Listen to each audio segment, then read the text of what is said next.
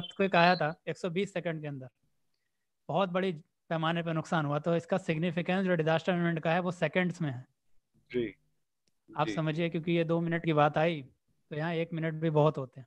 तो जो हम लोग आज डिस्कशन कर रहे हैं तीन दिन का अमित सर के जो प्रयास हैं एस आर लखनऊ के अंदर आशीष पांडा सर दिल्ली से और जो भी हाँ। हमारे जितने भी लोग हैं इससे जुड़े हुए हैं जो हम लोग गाइडेंस दे रहे हैं जो हमारे साथ काम कर रहे हैं तो they just focus on one thing कम से कम लोगों को इस बारे में पता चले और वो इसके बारे में जब पता चलेगा तो इंटरेस्टेड होंगे और कभी ना कभी हमारे पास इस तरीके की एक फोर्स क्रिएट होगी जिसको जानकारी भी होगी और जो कुछ कर भी सकेगी इसके बारे में।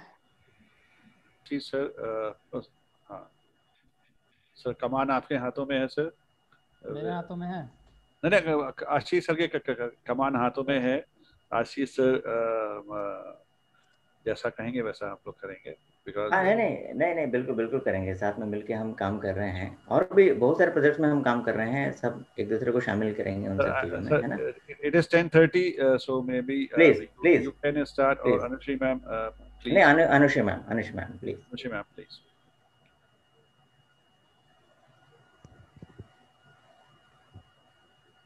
Good morning to one and all. I, Dr. Anushree Singh, welcome you all on the second day of three-day EFDP come training program on disaster risk reduction and disaster management, mm-hmm. jointly organized by NIDM Delhi and SRMU. Before we begin, let me please brief about, about the progress we made so far. The inaugural ceremony was graced by some great personalities of SRMU, Prof, uh, Professor Dr. A.K. Singh, the Vice Chancellor, Honorable Vice Chancellor, Sir, Pro Vice Chancellor Sir, Professor Dr. Ajay Prakash Sir, and NIDM, and from NIDM, Professor Dr. Anil Gupta Sirji and Sri Ashish Sirji. We also got the opportunity to learn about various aspects and uses of technology in, in disaster management preparedness and risk reduction by Professor Chandan Ghosh sir, role of media in disaster management and risk reduction by Asha Sharma ma'am, and Basics and Institutional Mechanisms of DM in India by Sri Ashish Panda sir. We had, a very, we had a very great learning and I hope this will help us all in our life. And moving ahead, second day, we, we will be having three great speakers today. And these are uh, Engineer Avdesh Kumar sir, Assistant Professor, Invertis University, Bareilly. He will be speaking on the topic Science and Technology Innovations for DRR. Dr. Arun A. Sha sir, from Wildlife SOS Bangalore. He will be speaking on man-animal conflict and its management. And Dr. Amit Sinha, sir, Assistant Professor, IMCE SRMU, on financial preparedness towards disasters. In today's session, uh, Ms. Trinkla, one of our student coordinator and the student of BBA will be assisting me for the conduction of the program. May I uh, please give me, please allow me to uh, welcome and introduce Dr. Engineer Avdesh Kumar sir for uh, for for his uh, for, for, his session. Ms. Shankla, I would request Ms. Shankla to please introduce uh, sir so that we can begin with the session.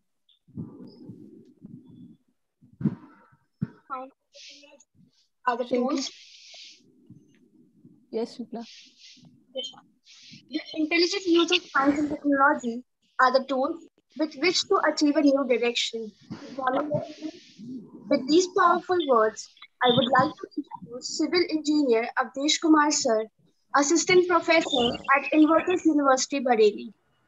He has worked on projects of designing residential block with special reference to green building concept, enhancing properties of concrete in variable climate conditions, geopolymer, lateral water harvesting plan in urban colonies, etc. Sir is actively involved in the field of disaster management and currently working on hazard mapping of Rohilkhand region in UP, along with his role as an educator. He is also an assistant editor of Invertis University International Journal entitled Invertis Journal of Science and Technology. Sir is life member of Indian Red Cross Society and actively involved in various social awareness programs. Now, I would like to ask Sir to carry forward the session.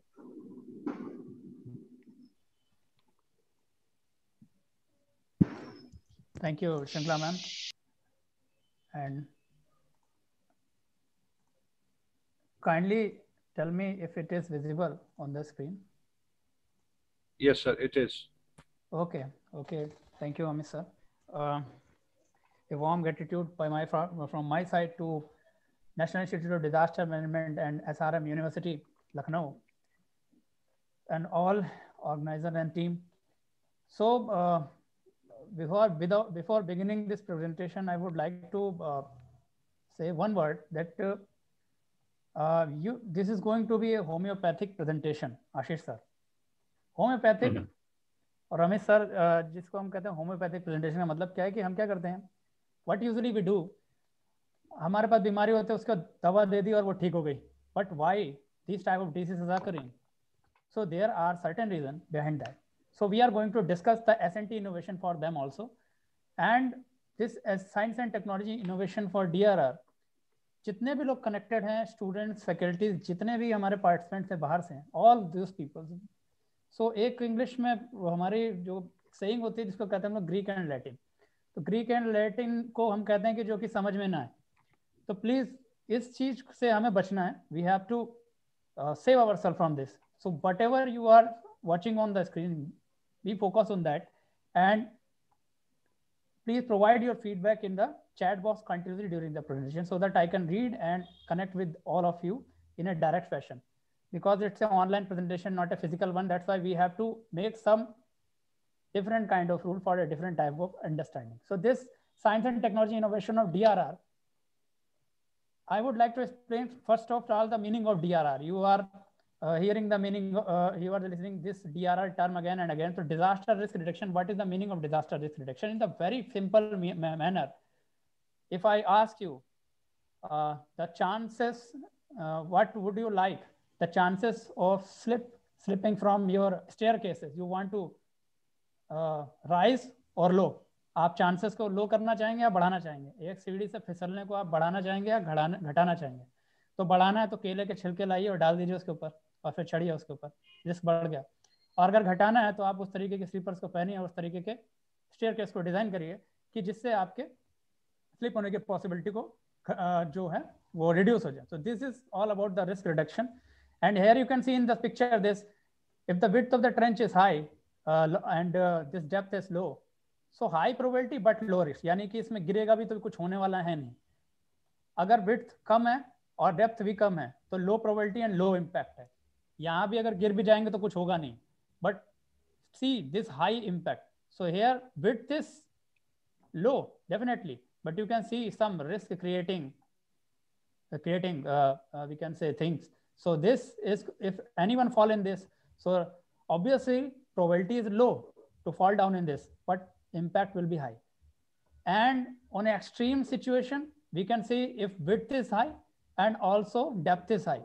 And also we can see here these type of some, uh, we can see this type of uh, structure. If anyone fall in this, then there is no chance to survive. So there is a high probability as well as high high impact. So this is all about the risk reduction. So अपने को करना क्या पूरी presentation में जितनी technology discuss होने वाली है what ever the technology we are discussing हम एक ही काम पे फोकस है कि हमको ये सुई यहाँ ला के रखनी है लो पर। प्रोबली हो सके तो ज़ीरो पे। ठीक है? तो यहाँ पर हाई से लो की तरफ़ जाना ही हमें सेव करता है डिजास्टर से। यहाँ पर आगे चलते हैं तो यहाँ पर when Ashish sir was taking his presentation so he throw light on some various global and international and national disaster framework so I am not going to discuss this month so he also tell that he also tell us that uh, out of the 17 SDG, 10 are focused on disaster risk reduction. So here global disaster resilience framework we have. So one is 2005 to 15. So 5 to 15 was a HEGO framework of action and 15 to 30, 2015 to 30 that is currently running. So ये ऐसे प्रयास हैं जिसके दुनिया चल रही है कि हम डिजास्टर को किसी तरीके से कम कर सकें दुनिया भर में यहाँ पर मैं सेंडाई फ्रेमवर्क को थोड़ा सा एक्सप्लेन करना चाहूँगा because program because this presentation is going to uh, going to uh, uh, take an overview of SNT. So this Sendai framework clearly spelled the need of multiple science and technology discipline to be on board in the framework of disaster risk management of all the countries. Now, this you can see Prime Minister 10 point agenda. So this uh, is an agenda that was uh, provided by Honorable Prime Minister. So his fifth point is also elaborating the leverage of technology to enhance the energy efficiency of disaster risk management efforts. So this was an agenda on which India is trying to fulfill the global frameworks of disaster risk reduction. And this point number five that I uh, tell you that uh, this is about the leverage of science and technology in disaster risk reduction. So it uh, it uh, it suggests uh, to implement the early warning system that can enhance the efficiency of disaster risk management.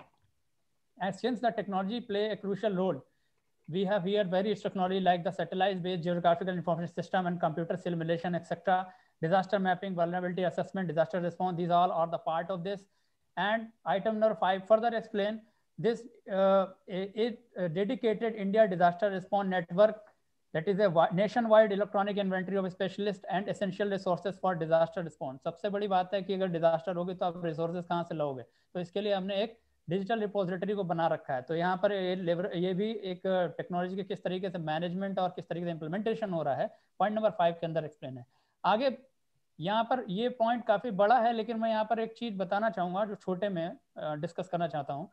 So technology not means big big super computers big big type of laboratories right people in the apron. So, this is also lies in the indigenous, in the in the So all the technology that exists in the form of the indigenous knowledge among the among the community, this is also the part of technology. So this is all about the item number five of Prime Minister 10 point agenda. Now हम बोल रहे हैं कि Covid है या Covid की वजह से 29 परसेंट इकोनॉमी चली गई जो ड्रॉप तो I would like to say unfortunately this is nothing real danger जैसे मैंने कहा था कि होम्योपैथिक प्रेजेंटेशन है तो हमारे हम केवल कॉजेस को देख रहे हैं। ये हम अभी बीमारी देख रहे हैं कि कोविड नाइन्टीन एक बीमारी है, महामारी है। लेकिन इसके पीछे के कॉजेस बहुत गहरे हैं और असली क्लाइमेट जो जो क्लाइमेट चेंज है, ये जितनी डिजास्टर को आगे लेके आने वाली है और जिस तरीके से लार भी रही है।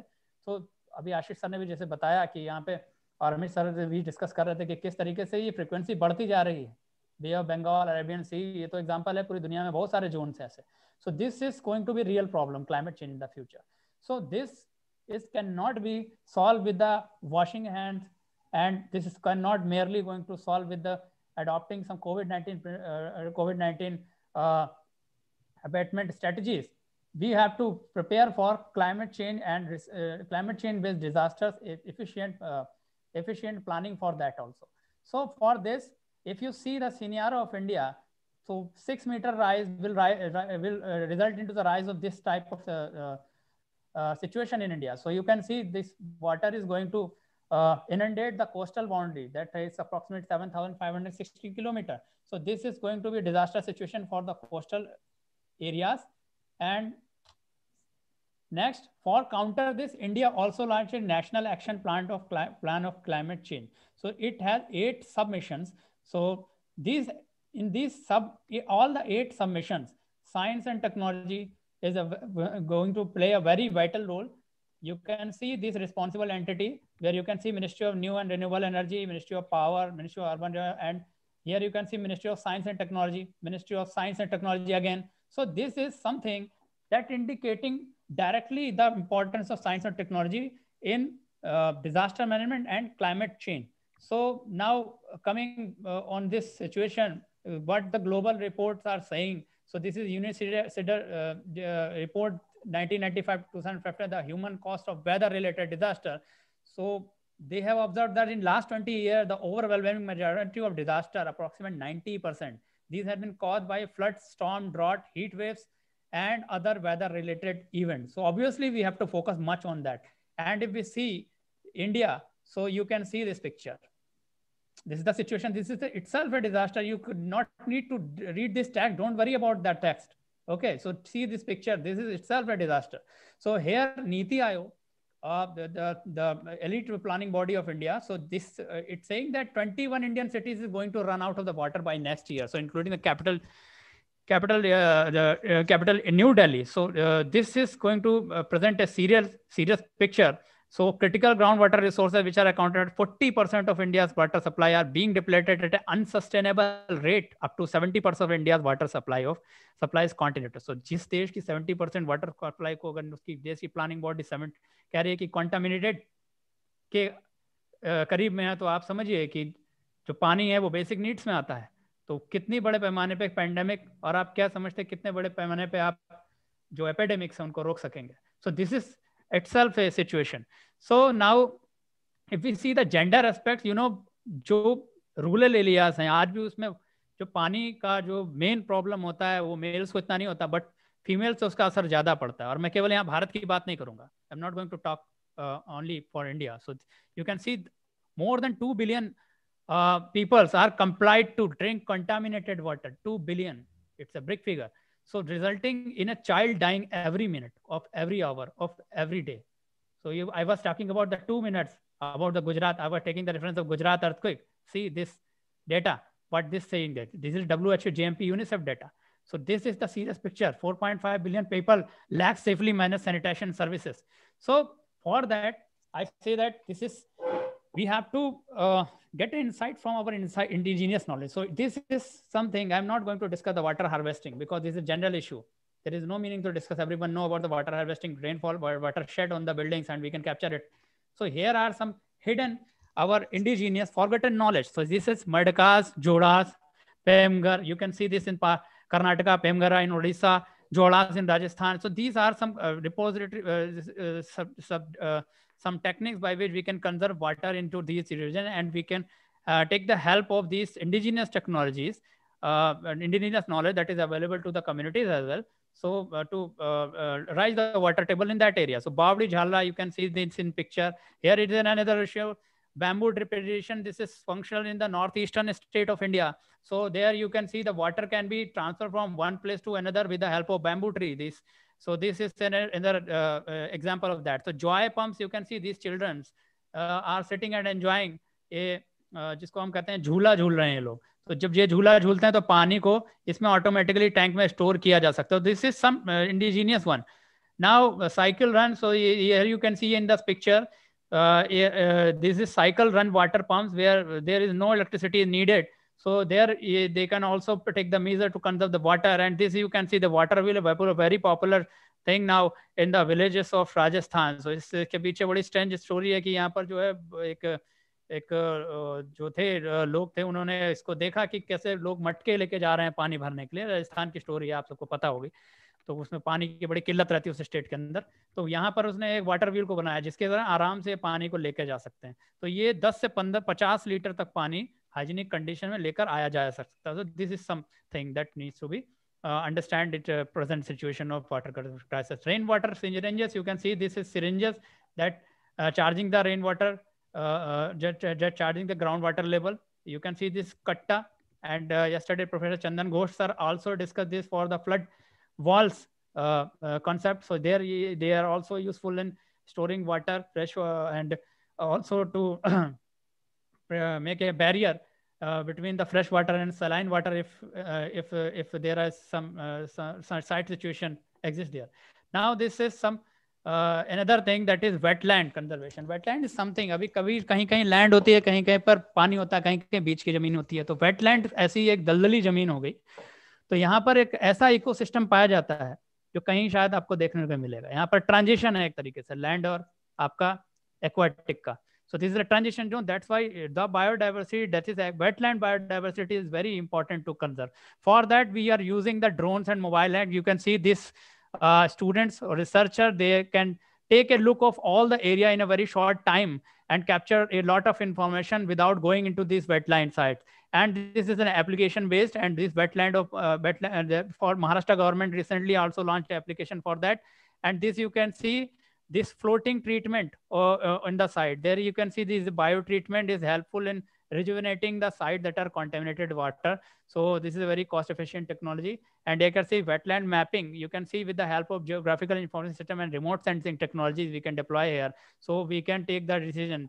Amit sir, you all, always discuss about the issues of uh, Lucknow, the coral. So this type of technologies are also implementable in that uh, in that uh, locations also. So indigenous technology. So one second.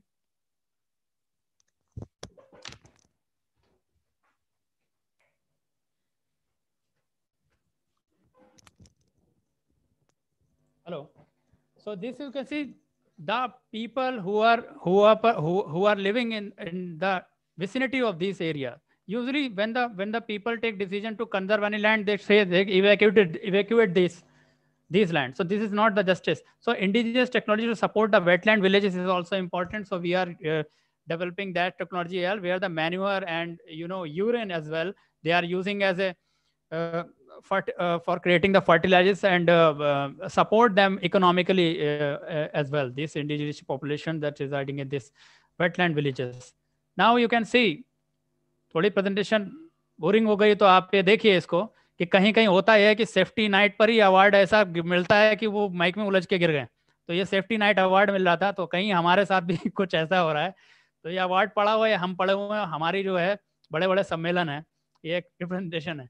तो यहाँ हमारे साथ भी कुछ ऐसा है कि हम अपनी डिजास्टर से सीखते नहीं है। इसके लिए prime minister ten point agenda में पॉइंट नंबर नाइन को डाला गया जिसका कहना है कि आप केवल आप जो है डिजास्टर से सीखिए ताकि दोबारा जब वो आए तो वही गलती ना करें। तो यहाँ पर एक एक्सेलेंट उदाहरण मैं देना चाहूँगा आपको। तो this is from the aviation industry you know that in 1903 after the after the innovation of airplane a number of problems are the technological in nature. No, no, uh, average life of a pilot was very less in the air that time. So faulty design, faulty maintenance, manufacturing flaws, pilot error, weather condition, these were some reasons behind that. And you can see एक बड़ी interesting घटना है जिसे bullet whole data से समझाता हूँ मैं आपको। So this survivor bias this called survivor bias अब इसमें कैसे गलती होती है सामने सामने पड़ी जैसे मैंने बताया कि अवार्ड सेफ्टी नाइट अवार्ड है और सेफ्टी नाइट अवार्ड में ही कोई उलझ के गिर पड़े तो बड़ी बात है। तो यहाँ पर आप बुलेट हॉल डाटा देखिए अब मैं आपसे जनरल क्वेश्चन पूछता हूँ आप इस टेक्स्ट को मत पढ़िए अभी। जनरल क्वेश्चन ये है कि आप यहाँ पर ये जो है ये कम से कम सौ प्लेन जो कि लॉट कर आए थे एयरफील्ड पर वर्ल्ड वार टू के दौरान, उन पर फायरिंग हुई थी। ये एयरफील्ड पर लौट के आए थे, यहाँ पर ये बुलेट फायर हुई थी। उन्होंने कंबाइंड डाटा बनाया। तो यहाँ पर हमें ये बुलेट होल्स मिले। तो अब पूछा जाए कि यहाँ पर आर्मर कहाँ लगेगा? यानी कि अब हम इस एयरप्लेन के डिज़ाइन को कैसे बेहतर बनाएँ? मैकेनिकल वाले जल्दी अच्छे से समझेंगे। बाकी के लोगों को भी जनरली मैं बता रहा हूँ कि यहाँ पर आप कहाँ पर इसकी बॉडी को स्ट्रॉन्ग करेंगे? तो ज़ाहिर सी बात है, सारे लोग आंसर करेंगे कि जहाँ पर बुलेट के होल हैं वहाँ पर ही आर्मर को लगा दिया जाए। तो यानी यहाँ यहाँ यहाँ यहाँ, अब एयरप्लेन ज़्यादा सेफ़ हो गया। तो ये प्लेन जब जाएगा युद्ध में तो बहुत आराम से ये सर्वाइव करेगा, इसका रिस्क रिड्यूस हो गया है। ठीक है? तो यही आंसर दिया गया एक्सपर्ट्स के द्वारा। बिल्कुल सेम बट हुआ यह सर्वाइवर बायस नाम के एक एरर को एक स्टैटिशियन थे, उन्होंने फाइंड आउट किया। तो ये सर्वाइवर बायस होता क्या कि सामने कोई चीज़ हो और गलती हो जाए। तो survivor survivor bias is is one, when one is look at the data of those who succeeded and exclude those who fall. यानी सिर्फ़ आप उस डाटा को देखें जो सक्सेसफुल हो गए। उन डाटा को आप छोड़ दीजिए जो डाटा अनसक्सेसफुल हो गए। यानी कि ये जो आप लोगों ने बनाए, जो जो इन लोगों ने बनाया था, ये डायग्राम ये एक्चुअली उन प्लेन्स का बना पाए थे वो लोग जो एयरफील्ड पे वापस लौट के आ गए थे। उन प्लेन्स का डाटा ही नहीं था जो कि युद्ध में गिरा दिए गए थे। इसका मतलब वहाँ बुलेट वहाँ बुलेट यहाँ फायर नहीं हुई थी। वो बुलेट फायर हुई थी इस जोन पे जहाँ कोई भी बुलेट का होल नहीं है, क्योंकि जब यहाँ लगी तो प्लेन सर्वाइव कर गया था, लेकिन जो रीजन बिल्कुल ब्लैंक पड़ा हुआ है, यहाँ जहाँ जहाँ बुलेट लगी, वो कभी भी एयरफील्ड पे लौटे नहीं प्लेन तो this was the survivor bias so यहाँ पर सामने होते होते गलती होती। तो he said that gentlemen, you need to put more armor plate where the holes are not, because that's where the holes were on the airplane that did not return. so this was famous study around world 1942 hope you understand तो यहाँ पर एक हम देख सकते हैं कितनी बुरी तरह से गलती हो सकती है और हम उस गलती को कंटिन्यू कर सकते हैं। क्योंकि आगे की जितनी डिज़ाइन होती फिर ऐसे ही होती और वो सारे प्लेन गिरते सो दिस एनालिसिस और learning from the disaster is really very important and after learning this this in continuation of learning from aviation disaster we created this black black box so this black box have no use in the airplane they are not going to save any aircraft But at the time of accident, they are going to record the data at the time of accident like this. So here you can see the voice pattern. Accident के time पे जैसे ही आवाज़ें हो रही थी cockpit पे जैसे pilot का पैनिक लेवल था उसको देख के हमने डिसीज़न लिए कि अब क्या बेहतर करना चाहिए तो वो सीखते सीखते सीखते अभी एविएशन का ये सीन हो गया है कि आप देखिए यहाँ पर 2018 है और यहाँ 1950 है तब से लेके ट्रेन घटते घटते एयरप्लेन एक्सीडेंट 1950 से 18 के बीच कितना घट गया so this is called the real example of learning from disaster and implement it into your planning into into your future planning in on the same line we created motor vehicle event data recorder so this is also going to serve for the same जो जो काम यहाँ plane में होता था ये car में होगा तो यहाँ पर speed acceleration sudden turn braking other important ये आपको बचाएगा नहीं किसी को बचाएगा नहीं लेकिन ये रिकॉर्ड करेगा ताकि फ्यूचर कार डिज़ाइन के लिए हमको मदद मिले so this is some predictions. Now, uh, some things as flood prediction, type of the future prediction of technology and AI-based DRBMS, DBMS, sorry, database management system. So artificial intelligence तो बहुत ज़्यादा मदद कर रही है चाहे फॉरेस्ट फायर जो जितने भी हैं कि हमारे वहाँ इंटर ह्यूमन इंटरवेंशन कम से कम होते जा रहे हैं। तो यहाँ पर प्रॉन्ट रिस्पॉन्सेस पॉसिबल हो गए। तो यहाँ फ्लड प्रोडक्शन में देखिए कि ये 10 से 12 आवर के विंडो में अपने आप एक फ्लड प्रोडक्शन का डाटा जनरेट कर देता है ये सॉफ्टवेयर अपने आप। तो जिससे कि जितने भी एजेंसी स्टेक होल्डर्स हैं वो सारे अलर्ट हो जाते हैं।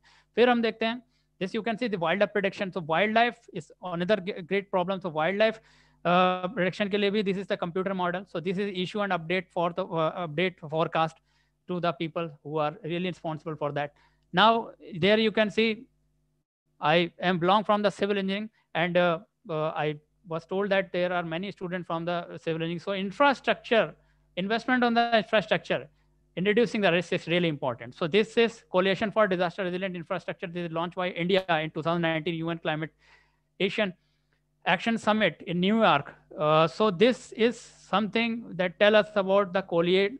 Uh, they make a coalition of the countries for investment in the for the resilient infrastructure. So India is the leader in uh, India. It is launched by India, so it is a, le a, leading country in this. So here you can see this point, thematic area. So innovation and emerging technology, uh, emerging uh, innovation and emerging technology. So this is also telling you the same like the Prime Minister 10 point, like the Sendai firm, same thing. The CDR is also advocating the same, that innovation emerging technology is really important. For that, if, if we see the city management or uh, the building uh, area, so we, we need the smart energy solution, smart street and public services, smart mobility, smart water, smart buildings. So in continuation, we have to uh, uh, travel toward these uh, solution. अब एक बड़ी खतरनाक चीज़ है urban height heat island effect पैदा हो रहे हैं क्योंकि शहर बढ़ते जा रहे हैं तो बिग सिटीज़ जो है इंडिया की बहुत ज़्यादा गर्म होती जा रही हैं तो यहाँ आपको एक चीज़ दिखाता हूँ ये रिसर्च है आईटी खड़गपुर का है तो आईटी खड़गपुर के जो जो रिसर्चर उन्होंने कहा कि अर्बन हीट आइलैंड जो है दिन में तो तापमान बढ़ ही रहा है रात में भी बढ़ रहा है बल्कि रात में ठंडा होता है तो रात में भी इन एरिया में तापमान ठंडा नहीं हो रहा तो दिस इज़ ए सिचुएशन ये कहाँ से ठंडा होगा? आप देखिए, गाड़ियों के कतार है, यहाँ पर बिल्डिंग्स है। तो पूरी की पूरी, आप समझ लीजिए, बढ़ती, भरी दूर में कोई धूप में कोई छाता लेके निकल जाए और कोई बिना छाते के निकल जाए तो धूप किससे ज़्यादा लगेगी? तो ये ऐसी जगह है जहाँ पर कोई छाता नहीं है। ठीक है? तो यहाँ पर अब सिविल इंजीनियरिंग के एक्सपेक्टेशन को डिस्कस करें, अगर बाबा तो बहुत ज़्यादा एस्पेक्ट है। सिविल इंजीनियरिंग अपने आप में वैसे बहुत वाइड है। और डिजास्टर मैनेजमेंट के साथ अगर इसका फ्यूजन हो जाता तो ये और ज़्यादा इसके एप्लीकेशन सामने आते हैं। सो डिजास्टर रिस्क रिडक्शन में you know this is risk management population public policy geology geography geomatics civil engineering तो यहाँ पर जो सिविल इंजीनियरिंग का एक्सपेक्ट है, यहाँ पर चाइना की दीवार देख रहे होंगे। मैं बहुत छोटे एग्ज़ाम्पल इसलिए उठा रहा हूँ ताकि आपको सीधा पहले समझ में आए। रिस्क रिडक्शन की डिटेल्स आप कहीं से भी लिख सकते हैं इंटरनेट पे बहुत पड़ी हुई है। यहाँ पर सिविल इंजीनियरिंग का एस्पेक्ट देखिए चाइना के वॉल को बनाया क्यों गया था? विदेशी आक्रमणकारियों से सुरक्षा के लिए रिस्क रिडक्शन के लिए। डिजास्टर ना हो सबोटेज ना हो उन जगहों पे, इसलिए। So this is also a structure that was dedicated toward that at that time. So now I am showing for you uh, for you emergency support function. Disaster management का बहुत प्रमुख हिस्सा। चौदह हमारे ऐसे हिस्से हैं जिनको एक्टिवेट होना बहुत ज़रूरी होता है किसी भी डिजास्टर के अंदर। यानी कम्युनिकेशन पहली और एक कमेटी की रिपोर्ट के अनुसार अगर कम्युनिकेशन फेल होता है आपका तो समझ लीजिए आपने दो चार और इनविटेशन कार्ड छाप के भेज दिया डिजास्टर को।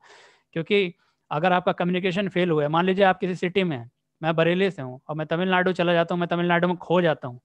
तो सबसे पहले मेरे पास प्रॉब्लम आएगी मैं कम्युनिकेट किससे करूँगा? ऐसे डिजास्टर में सिचुएशन आती है, अगर कोई डिजास्टर में हो तो वो किससे कम्युनिकेट करेंगे? कम्युनिकेशन डिस्क्रप्शन हो जाता है इससे और बड़ी डिजास्टर्स हो जाती हैं। So public health sanitation power transport search so this all the aspects are the core area of civil engineering public health engineering if you remember communication, erecting the communication towers right so this is something that uh, is very much transportation is uh, a specialized area transportation engineers there right so these are some specialized area of, about that so here we have the sub-sustainable solution for our building because a robust structure reduces the chances of failing it.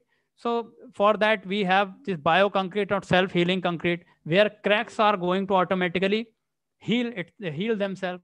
Now, these are some miscellaneous application. Photovoltaic, they are, these are the uh, uh buildings that are popular now uh, getting popularizing in the European countries where they can generate their own electricity with the help of the photovoltaic effect kinetic portfolio, they are using the piezoelectric sensors. Piezoelectric sensors are capable of generating the electricity when they compress. So this is kinetic football on the same principle kinetic roads are दिया जब गाड़ी चलेगी तो बिजली पैदा करेंगी ये street light जल जाएँगी इनसे। एसेट मैपिंग हमारे पास कौन सा क्रिटिकल स्ट्रक्चर कहाँ पर है? एसेट मैपिंग बहुत इंपॉर्टेंट है कि हम कितनी देर में वहाँ पहुँच सकते हैं। तो दिस इज़ समथिंग और अभी थोड़ा मैकेनिकल का मैं अगर इन्वॉल्व करूँ या एग्रीकल्चर का इन्वॉल्व करूँ तो this electrical vehicle electronics electrical vehicles की टेक्नोलॉजी आ रही है। आपने टेस्ला सुना होगा बहुत सारी कार सुनी तो ये क्या है कि हमारे डीजल पे डिपेंडेंसी पेट्रोल कन्वेंशनल पेट्रोल पे या कार्बन इमिशन को घटाने के लिए। है biofuels this is also a, going to uh, provide a sustainable solution now earthquake resistant buildings a, a specialized area of civil engineering where we can we have to go for different different techniques we have various technology a dedicated civil engineering code is also there approved by Bureau of Indian Standard. We all know that. So cross bracing, shear walls, shear core, moat. We have base isolation method. So these are some techniques where various guidelines you will find in that code. Uh, unfortunately, the the, uh, the earthquake retrofitting condition in India is very poor because of its poor implementability and uh, its pop- its less popularity among the common masses. So these are another risk reduction, uh, reduction method engineering way. So now we can see in the same line, high wind and hurricane, high building and hurricane resistant building. यहाँ shape उसकी sustainability engineering material excellence और connections को ऐसे किया जाता है कि aerodynamic एक तरीके से कि इसमें हवा ज़्यादा इम्पैक्ट ना करे आपकी राइट विंड लोड अगर किसी भी चीज़ को उड़ा देता है तो उसको हम ऐसे बनाते हैं कि ये ऐसा ना कर पाए कि हमारी जो जितनी भी है जो बॉडी है, वो एक ब्लफ बॉडी ना बन जाए, एक स्ट्रीम लाइन बॉडी बनी रहे। तो स्ट्रीम लाइन अगर होगी तो आप देखिए कार के हिस्से जो आगे के जो पतले होते हैं, उससे क्या होता है, अगर वो ना हो तो हमारे जितना भी थ्रस्ट आएगा, बहुत ज़्यादा आएगा एयर का। तो इस तरीके से इनको डेवलप करते हैं हम। यहाँ पर ब्लास्ट रेजिडेंट अब नई प्रॉब्लम हो गई, आप देख लेंगे। Recently we are also discussing some Israel issues. So number of building collapses you have seen in the pictures or the videos. So building देखिए कैसे गिरती हैं और यहाँ पर तो ये वर्ल्ड ट्रेड का आपने देखा ही था। प्लेन से अटैक किया गया था। मुंबई इंडिया का। तो ये सारी भी एक समस्या है, ये भी बड़े एक प्रॉब्लम है। तो इनके लिए ब्लास्ट रेजिस्टेंट बिल्डिंग डिज़ाइन है। यहाँ पर आप You can see this building design criteria for blast resistant design of a structure for explosion above ground. Unfortunately, most of the civil engineering students not know about there is a there is criteria also exists for blast resistant design as well. So this is something we have the provision of all, but we have to go for the implementation level. So this what these buildings see, so they they they absorb this blast energy and act in a more robust manner. Now urban heat island effect that I discussed the report of IIT Kharagpur, you can see this picture. So wherever you are seeing the concrete jungle, there is a rising temperature you can observe here. So this is something, uh, when if you are living here, so obviously temperature is going to high here. If you are living near farm, so आप कहते नहीं कि गाँव की तरफ़ आ गए तो बहुत ठंडा हो गया तो वो इसका यही यू एच आई का इफ़ेक्ट है तो यहाँ to mitigate this effect, we have some planning method. So albedo mitigation ऐसे मटेरियल को यूज़ ना करें जो बहुत अब्जॉर्ब कर ले। कूलिंग रूफिंग ग्रीन रूफिंग की यूज़ करते हैं। वेजिटेशन मिटिगेशन हमारा जो वेजिटेशन अगर हम प्लांट कर दें तो वो भी बहुत अच्छे से जो धूप है और उसकी जो एनर्जी है उसको जो है रिफ्लेक्ट बैक नहीं होने देती और हमारा जो है उसको बहुत एक्सीलेंट इंसुलेटर बना देती है। ओपेक वेंटेड वॉल्स इनको बनाते हैं। विंड सर्कुलेशन को अच्छा रखा जाता है। तो अगर हम देखा जाए तो मैं इतनी देर से जो बात कर रहा हूँ सस्टेनेबल बिल्डिंग की तो वो ग्रीन बिल्डिंग की कहीं ना कहीं बात कर रहा हूँ कि ग्रीन रूफिंग या देखिए रूफ पर ग्रीन ग्रीनरी लगी हुई तो ग्रीन रूफिंग ये है प्रिपिटेशन यहाँ पर so this is not going to serve as a you you know this is automatically going so for that we have the standard that is a LEED I G B C गृहा so they provide the rating on the basis of the building performance toward the sustainability so this is also a provision in the civil engineering now next we can see this uh, data that built environment green building, it, if we see these 1.2 billion square feet buildings are under construction pre certified by IGBC. So IGBC is agency that certified the building. So this much area is uh, certified by that. So there are various benefits. I'm not going into this deeper data. So benefit of 1 billion square feet green building is you can understand 12 million ton reduction of carbon dioxide emission. This is great. And 15,000 gigawatt energy saving. This is another one. So 45 million liters water saving. So this is some benefit if we plan, if we make 1 billion square feet green buildings in our country. So, or global level, we can also implement because this is not the national concept. This is also coming from the international one, like USGD, United States Green Building Concept. So it's is something that needs to be implemented. Here you can see the picture of green parking, green parking.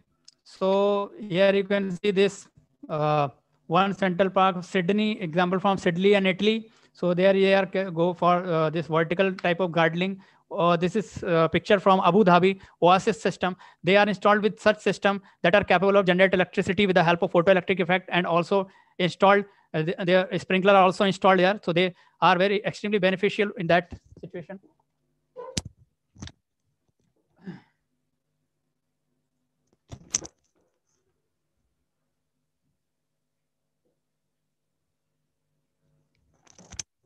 Hello. Yes, sir. Okay. So by the way, they are very beautiful uh, as well. So they are they have extremely beautiful uh, structure. So you can see this top view of this. So uh, they are uh, they are also the method to achieve this. So vertical farming you can see here. So vertical farming is a concept where we are not horizontally farming the crops. So they are going to uh, give you the maximum crop yield, reduces transportation cost, use minimal water. They are going to use lesser space for crops. सीढ़ी की तरह एक से ऊपर एक tray की तरह रखते चले जाते हैं और उसके ऊपर जो है हमारी जितनी भी प्लांटेशन है वो उनको लगा दिया जाता है तो एक पानी भी यूज़ इसमें बड़ा इफिशियंटली होता है और बहुत कम स्थान घेरा जाता है ये देख लीजिए आप एग्जांपल इसमें एक ही जगह पर कितने सारे ट्रेस टाइप की हैं ये और यहाँ पर कितने सारे हमने वेजिटेशन को लगा रखा so they are getting less space and providing more productivity. So this you can see civil engineering, but another neglect, neglect uh, another area that uh, face huge negligence and it is animals. हम सारी इंसानों की बातें कर लेते हैं हम सब कुछ बात कर लेते हैं लेकिन क्या एनिमल्स पर भी इम्पैक्ट होता है क्या इन स्ट्रक्चर्स का do they also suffer so yes they also suffer you can see this data linear infrastructure linear infrastructure का मतलब आपको बताऊँ कि all railway road line uh, road network are known as the linear infrastructure.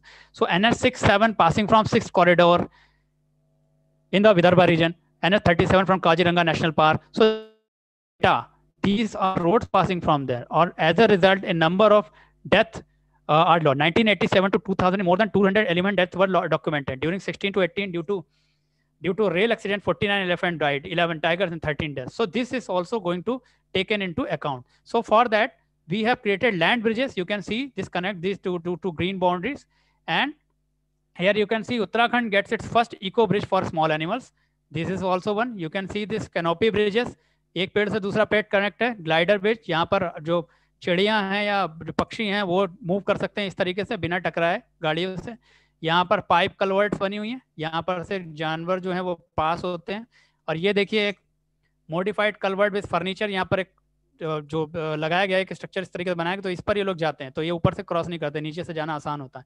तो इस तरह से fish passages है फ़िश पासेज दिए जाते हैं। फेंसेस आप देखिए ये ये जो कछुए हैं ये इधर ना निकलें तो इसके लिए एक फ़िश हम लोगों ने फेंसेस बना दिए। तो this is some facilities provided to the uh, for reducing animal reduction. And more in more technology we have lidar. So they can so we can have a 3d image of so this you can see camera traps तो ये बिल्कुल पेड़ की तरह लगता है, इनको पहचानना बड़ा मुश्किल होता है तो यहाँ पर जो जानवर होता है, उनको मॉनिटर किया जाता है आसाम से। तो सर इससे यहाँ पर जो पोचर्स होते हैं, जो पोचिंग एक्टिविटी करते हैं, उनको भी हम लोग देख सकते हैं। तो यहाँ पर इसके बाद अकॉस्टिक्स मॉनिटरिंग की हम लोग देखें अकॉस्टिक मॉनिटरिंग यहाँ की आवाज़ें सुन के हम जान सकते हैं कि वहाँ पर किस तरीके की सिचुएशन है। तो वहाँ पर स्पीशीज की ऑक्यूपेंसी की है अबंडेंस पॉपुलेशन डेंसिटी क्या है कम्युनिटी कंपोजिशन क्या है, ये सब पता लगता है। तो यहाँ पर ऐसे एयरबोन हमारे पास एयरबोन लडार मैपिंग का एक टेक्निक है तो ये भी हमारा जो है लिडार कितना है, इस तरह से हम लोग इमेज क्रिएट कर लेते हैं three D so we can check the area that is suffering from any particular like bush fire etcetera so disaster mapping is extremely important we use the robot we take the map from the inundated zone so this robot is very useful because there are certain present in the forest where human movement is not possible here you can see them heat signatures so ये thermal imaging camera here we can ये एक जगह है जहाँ पर Australia में Bush fire हुई थी तो यहाँ पर एक कोआला नाम का एक जानवर बैठा है। इनके फिंगरप्रिंट बिल्कुल हमारी तरह होते हैं। अगर ये कहीं उंगली रख दें तो बिल्कुल पहचानना मुश्किल है कि इंसान की है या कोआला के फिंगरप्रिंट है। तो लेकिन बड़े स्लो मूविंग माने जाते हैं। तो ये इनको बड़ा नुकसान पहुँचा था ऑस्ट्रेलियन बुश फायर के दौरान। तो ऑस्ट्रेलियन बुश फायर के दौरान इनको रेस्क्यू किया करने के लिए हीट सिग्नेचर्स यूज़ किया गया। ये देखिए, ड्रोन्स यूज़ किया गया था। यहाँ की मॉनिटरिंग हो रही थी। मॉनिटरिंग के बाद इनका जो एरिया जल गया था, जहाँ से खाना खत्म हो गया था, उसको भी हमने कैप्चर किया था और उनको आइडेंटिफाई किया था कहाँ और हो सकते हैं। So for in a similar order you can see this you can track koala जब ये अपने झुंड में वापस जाएगा तो हमें बाकी के लोकेशन भी पता चलेगी। So this some technology that use use that are popular in animal inclusion disaster reduction अभी बड़ा ही अनफॉर्चुनेट बड़ा ही दुर्भाग्यशाली वर्ष कहा जाएगा कि 2020 के अंदर doctor A P J Abdul Kalam ने मिशन 20 विजन 2020 एक लिखा था। वाई एस राजन जी के साथ इंडिया 2020 उन्होंने बहुत कुछ बताया था कि हमारे पास एक विजन है न्यू मिलेनियम का। लेकिन अनफॉर्चुनेटली हमको क्या किया, हमें क्या करना पड़ा? 1918 का ये देख रहे हैं आप लोग। वैसा ही हम लोगों के आज भी आप वियर ए मास्क के मैसेज देख रहे होंगे। तो यहाँ पर इन्फ्लुएंजा के 1918 में आया था अभी हम लोग जो जूझ रहे हैं वो कोविड 19 से जूझ रहे हैं। तो 2020 के बाद 2021 तक अभी भी प्रोसीड चल रहा है। तो ये जो पैंडेमिक आई थी 1918 में वैसा ही कुछ सीन आज हमें देखने को मिल रहा है। तो हम लोग जिससे डिपट रहे हैं तो अब कहा जाता है कि necessity the mother of all the invention तो यहाँ पर भी ये बात ट्रू है कि necessity is really give rise to many invention all the bodies of India engage in this, like as the Department of Science and Technology, DST, DBT, Divine of Biotechnology, Industrial Research, CSIR, and Ministry, ICMR, Ministry of Health and Family Welfare. So these all ministries engage in this uh, uh, pandemic abatement. As a result, they created the Arogya Setu the, that is installed in all your mobiles. So here you can see this some name of some certain technology, food operated, washing, mathematical modeling, battery operated, right? Arogya Setu, it is another example. So here there are some technology, UV sanitation team sanitization बड़ा important हो गया हमारे 2021 और 2020 में. तो sanitiser registration के लिए बड़ी टेक्नोलॉजी आई पृथ्वी रोबोट आया पोर्टेबल इमरजेंसी मेडिकल वेंटिलेटर आया तो यू यूवी डिसइनफेक्शन टॉवर आया इसको अगर रख देते हैं आप किसी का अगर कोई ट्रीटमेंट चल रहा है तो डिसइंफेक्शन करने के बाद उसको पूरे एरिया को वो जो है डिसइंफेक्टेंट कर देगा। अगर कोई ह्यूमन इसके कॉन्टैक्ट में आए तो ऑटो शट ऑफ़ हो जाता है। तो यहाँ पर robotics online entertainment O T platform पे आपने देखा बड़ी बड़ी मूवीज़ रिलीज़ हुई टेले हेल्थ टेले हेल्थ की बात होने लगी। डिस्टेंस लर्निंग बढ़ गई, हम लोग भी डिस्टेंस लर्निंग ही एक तरीके से कर रहे हैं, जुड़े हुए हैं। रिमोट वर्क और डिजिटल कॉन्टैक्टलेस पेमेंट बहुत बढ़ गए, लोग नोट लेने से कतराने लगे। डिजिटल और मोबाइल ऐप्स बहुत सारे हो गए। इसके बाद हमारा जो सीसीटीवी बेस साउथ कोरिया और सिंगापुर देशों ने, जैसे देशों ने अपनाया touch free biometric system universities के अंदर आ गए। पहले हम लोग पंच करते थे, अभी फिर ये टच फ्री बायोमेट्रिक सिस्टम आ गया ऑटोनोमस व्हीकल्स आर्टिफिशियल इंटेलिजेंस ये। अब जितने भी एजुकेशन सेक्टर से जुड़े लोग, चाहे वो स्टूडेंट हो, चाहे फैकल्टी हो, चाहे कोई भी हो, जो स्टूडेंट जितने लोग भी है, और सभी एक ना एक बात तो हम लोग स्टूडेंट रहते ही हैं। तो 190 देशों में इसका इफ़ेक्ट हुआ, और कोविड 19 पेंडेमिक ने अब तक की सबसे ज़्यादा लार्जेस्ट डिसरप्शन एजुकेशन सिस्टम को किया। लगभग 1.6 बिलियन लर्नर्स को प्रभावित किया। तो यहाँ पर लगभग 2020 अप्रैल 2020 में ये रिपोर्ट आ गई थी कि चौरानवे percent learner world wide affected by pandemic और ये रिप्रेजेंट करता था 1.58 billion children and youth so this is this was the report from education during covid 19 beyond August 2020 of united nations. So so, uh, कैसे schools को खोलें कैसे university को चालू करें कैसे एजुकेशन सिस्टम को स्टार्ट करें ये बहुत बड़ा चैलेंज है हमारे सामने। तो यहाँ पर टेक्नोलॉजी का यूज़ हुआ reopening school and social distance world में। तो यहाँ हमने आपको मैं ब्रीफ में दिखा रहा हूँ पार्टीशन ऑटोमेटिक जीपीएस यहाँ जीएफएस ट्रैकर सेंसर यहाँ से बिना हाथ लगा यहाँ पर सैनिटाइजर जो है उसको डिस्पेंस कर सकते हैं। High efficiency particular air HEPA systems so are also useful to uh, keep the classes clean exhaust air diffuser and dampers so hand feed uh, for the labs computer lab purpose handheld UVC UVC light uh, wand sterilizers for their portable rechargeable mini UVC sanitizer lamp touch free taps and uh, and faucet GPS tracking tracking जो student जा रहे हैं उनको हम track कर सकते हैं कहाँ पर क्या है उनके पेरेंट्स भी कर सकते हैं तो यहाँ पर तो सिचुएशन ठीक है ये बड़े इलीट क्लास स्कूल्स के लिए थे बट अगर हम रियल इंडिया की बात करें तो सिचुएशन यहाँ पर आती है सो टेक रेजिलियंस यहाँ पर क्या काम कर रही है? यहाँ पर हमने इंडिजिनियस सोल्यूशन डेवलप किया mark dispenser smart distancing touch free pedal ये बड़े सस्ते हैं। यहाँ सैनिटाइजेशन टनल ए जुगाड़ जिसको कहा गया, इसकी बात हुई। हैंड्स फ्री वॉश बेसिन लगे, जिनको सिर्फ़ एक पानी की टंकी टैंक से बनाया गया। तो ये सर सब sanitization technique and water washing and washing techniques और यहाँ पर आप देख सकते हैं कि अभी जो टॉक्टी की बात कर रहा था मैंने अपनी प्रेजेंटेशन में बताया था कि यहाँ पर साइक्लोन बढ़ा है। यहाँ पर साइक्लोन स्टॉम टॉक्टी की बात करें थर्टीन में के अराउंड इसका जो लो प्रेशर एरिया डेवलप हुआ साउथ ईस्ट अरेबियन सी में तो यहाँ पर इस तरीके से लक्षद्वीप, हमारा जो साइक्लोनिक स्टॉम आगे चला, हमारा ईस्ट सेंट्रल अरेबियन सी की तरफ़, जो ये मूवमेंट है एक्चुअली ये थोड़ा ब्लर पिक्चर हो, क्योंकि ये डायरेक्टली वही इमेज है जो हमारी प्राइम मिनिस्टर जो ऑनरेबल प्राइम मिनिस्टर जिसकी मीटिंग ली थी उन्होंने तो उसमें जो स्लाइड प्रेजेंट की गई थी, ये उसी की पिक्चर है। तो ये वहीं का हमारा एक साइक्लोन का एक ओवरव्यू है। अब साइक्लोन को अगर हम देखें तो उसका कोर्स कुछ इस तरह से है। ये देख सकते हैं आप इस तरीके से। ये मूव इस तरह से हो रहा है। यहाँ पर 16, 17, 18, 18, 18, 19 तो इस तरीके से हम चल रहे हैं। और यहाँ पर अगर एक्सपोजर की बात करें तो 7.4 million people expose to the potential tropical cyclone wind wide sport damage and above so 67 percent adult 15 to 64 childrens भी हैं उसमें एल्डरली भी है। 25.6 बिलियन की कैपिटल एक्सपोजर पे खत्म हो सकती है बर्बाद हो सकती है। पोटेंशियल नीड पे हमको यहाँ पर 3.4 billion kilo calorie per day provide करनी होगी। 4.9 मिलियन लीटर पानी को देना पड़ेगा वहाँ पर। For for one this much hundred litre waste bin हमको देना पड़ेगा square metre 5.6 million square metre shelter की ज़रूरत पड़ेगी। तो बड़ी नीड है इस ट्रॉपिकल साइक्लोन टॉक्टी के लिए। तो यहाँ अगर हम इंडिया का देखें तो इंडिया की एक लीडरशिप है इस आ, को प्रेडिक्ट करने में। और इसको जो फोरकास्ट करने में। Amit sir I think I am taking much time so I should like to wind up okay sir so this is something that India is providing the assistant to other countries also तो this for this W M में upload to I M D to that so now we can see take tell of improvement we can see from nineteen seventy two to nineteen seventy seven we have save a number of lifes right? So this figure down to this one. And now it's going down with every cyclone. Now you can see this scheme, National Cyclone Risk Mitigation Project, NCRMP. And NCRMP, this is two in two phase, NCRMP one and two. So in this, we have a technical assistant of cyclone component C. So there is also a number of technologies developed. You can see these meetings. These are the pictures from those respective meetings. And coastal area adaptation technologies, number of technologies, how we can say, see this artificial dune, sea wall, sea dikes, and storm surge barrier, land claims, etc. And this is the recent tweet from uh, uh, Executive Director NIDM, Kumar Bindal, sir. So this uh, he said that uh, the this is the right time to identify types of trees that could withstand the 150 to 180 kilometer per hour cyclonic storm as per soil condition. So massive drive to plant them along the coast as nature-based solution. So he suggests a nature-based solution and say it and it's a great idea to plant them uh, uh, along the coastal boundary so that we can save them. So this is a great idea, I must say.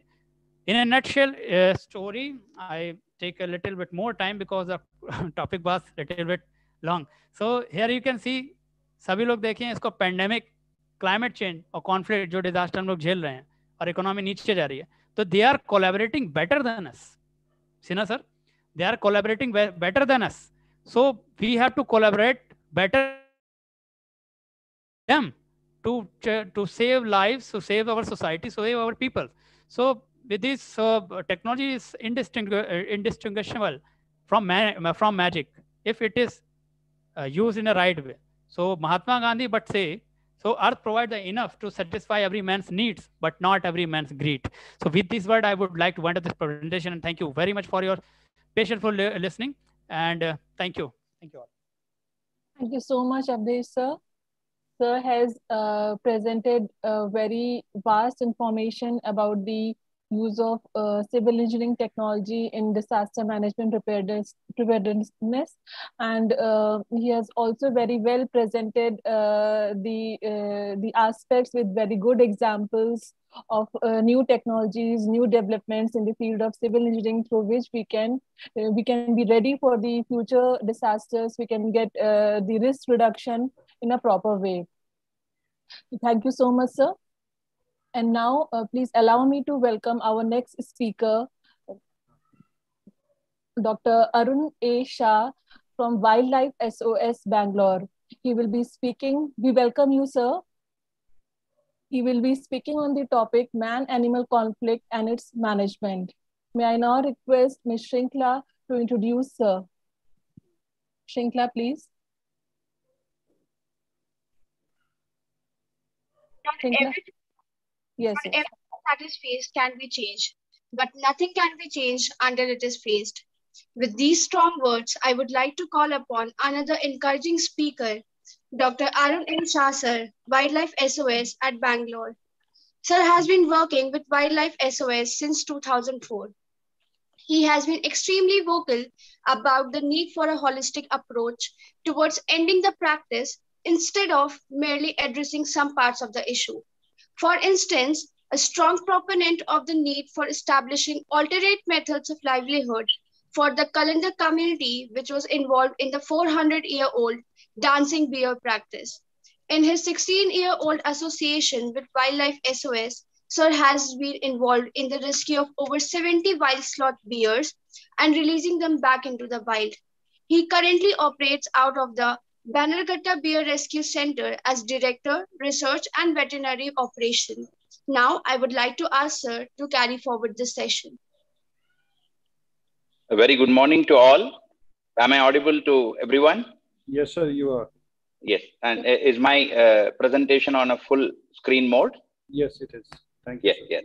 Uh, uh, uh, a very good morning to all, and uh, thank you so much for the wonderful introduction. And I was even listening to the previous speaker's talk. It was, as usual, uh, uh, amazing.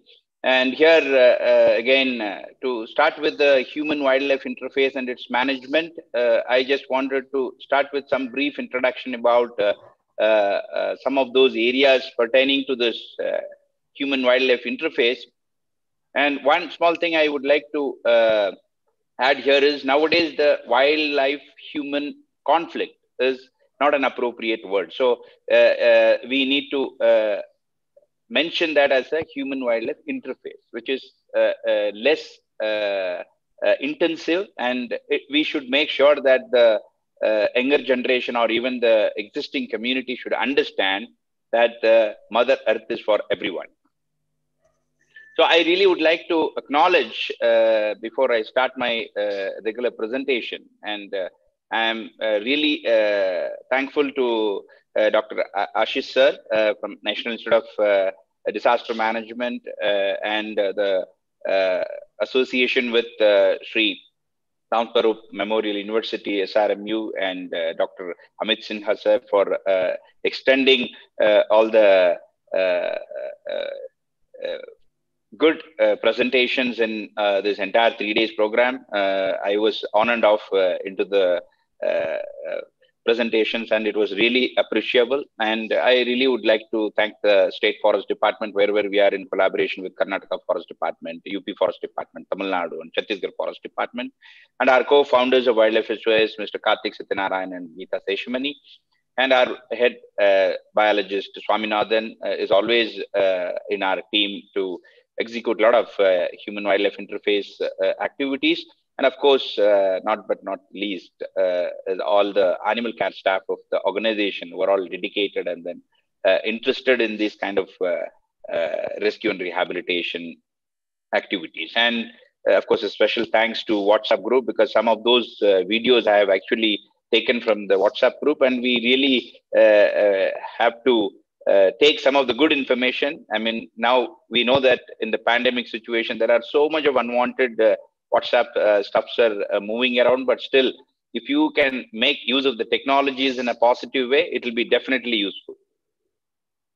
So before I get into a proper uh, topic of the presentation, I just wanted to introduce the organization where I'm currently part of. And Wildlife SOS is uh, actually uh, almost a two-decade organization, and it's a conservation non-profit organization established by both our co-founders, and uh, we have primarily uh, uh, dealt with dancing bear trade, which was uh, almost around 400 year old uh, tradition in our country.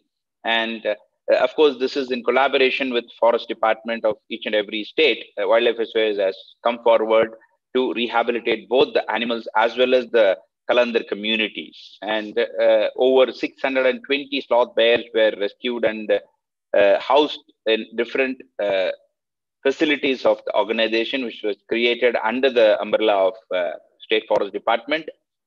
And today, Wildlife SOS has got over 30 active conservation projects across the country, and which primarily includes mitigation of human-wildlife interface, promote biodiversity and habitat protection, along with sustainable rehabilitation of erstwhile poaching communities and awareness and training of field staff. Because it is always important to make sure the stakeholders are really educated with the current uh, uh, scenario of all these areas, whether it is uh, wildlife trafficking or human wildlife conflict or interface, or even the existing population of all these wildlife and their ecological importance. So it is very important to understand the wildlife presence and the advantage to the ecosystem before we start blaming any animal. So apart from the Bear Rehabilitation Center, Wildlife SOS has started uh, coordinating and co uh, co collaborating with uh, various other state forest department. One among that is the Monik, uh, Leopard Rescue and Rehabilitation Center in Maharashtra, which was established in 2002 and currently holding uh, 32 leopards uh, are all from rescued from various uh, uh, conflict situations and rehabilitated them in case if they were a good specimen or a good candidate to go back to wild, we always release them, them release them back in the wild. In case if they lose that uh, chance or if they have some kind of uh, uh, deadly injuries or even sometimes they may need some veterinary care for over a month or two, then they usually lose the potential to go back to wild. So such uh, individuals are housed and looked after by our team, again, as usual, under the umbrella of uh, Forest Department of the state. And the primary objective of all these uh, uh, rehabilitation centers are really to create awareness on conflict mitigation, rescue and rehabilitation of all these uh, animals which are really in need of veterinary care, and captive care management or establishment of different standard operating protocols so that we can learn how to deal with these species when we uh, face any kind of uh, interactions or uh, issues in the pre-ranging area. And of course, research is an ongoing process in any field. In fact, just now, uh, our uh, esteemed speaker, uh, Ashish Kumar sir, is telling about all the updated technological intervention in dealing with uh, humankind. So, uh, the similar such kind of activities can be really established to even save our Indian wildlife as well. So, and moved on to the next project is Elephant Conservation Care Center, again established by Wildlife SOS in the year 2010. And it's again collaborated uh, project with uh, UPFD and Haryana Forest Department. And we have a two such center, one in Haryana, the other one is in UP. And we usually rescue all these disabled, uh, uh retired, and uh, literally injured, and then they were uh, abused or badly treated in the past. And they were actually having good time in the rehabilitation center because uh, we need to respect each and every species. And here you can see some of the pictures of before and after. And some of these animals were literally uh, found almost dead on the street, and even the owners of these animals were vanished because they were under the impression after the truck hit by the uh, I mean, the elephant was hit by the truck, and uh, they assumed that the elephant was dead because it was not showing any movement. And when we came to know the news and immediately our rapid response unit have gone there and then examined the animal and immediately given all the first aid and the emergency medications and we revived the animal. You can see the after picture on the right side of uh, uh, the slide are all those elephants before rescue and after rescue. And again here, captive care and research is one of the priority of all these rehabilitation center. And moving on to the habitat protection. So Wildlife SOS not only involves in uh, establishing rehabilitation center for different species, and also they uh, put in a lot of resources and efforts to protect habitat. Anyway, regarding that, I'll be telling in my future slides what is the importance of habitat protection if you really want to conserve any of this Indian wildlife.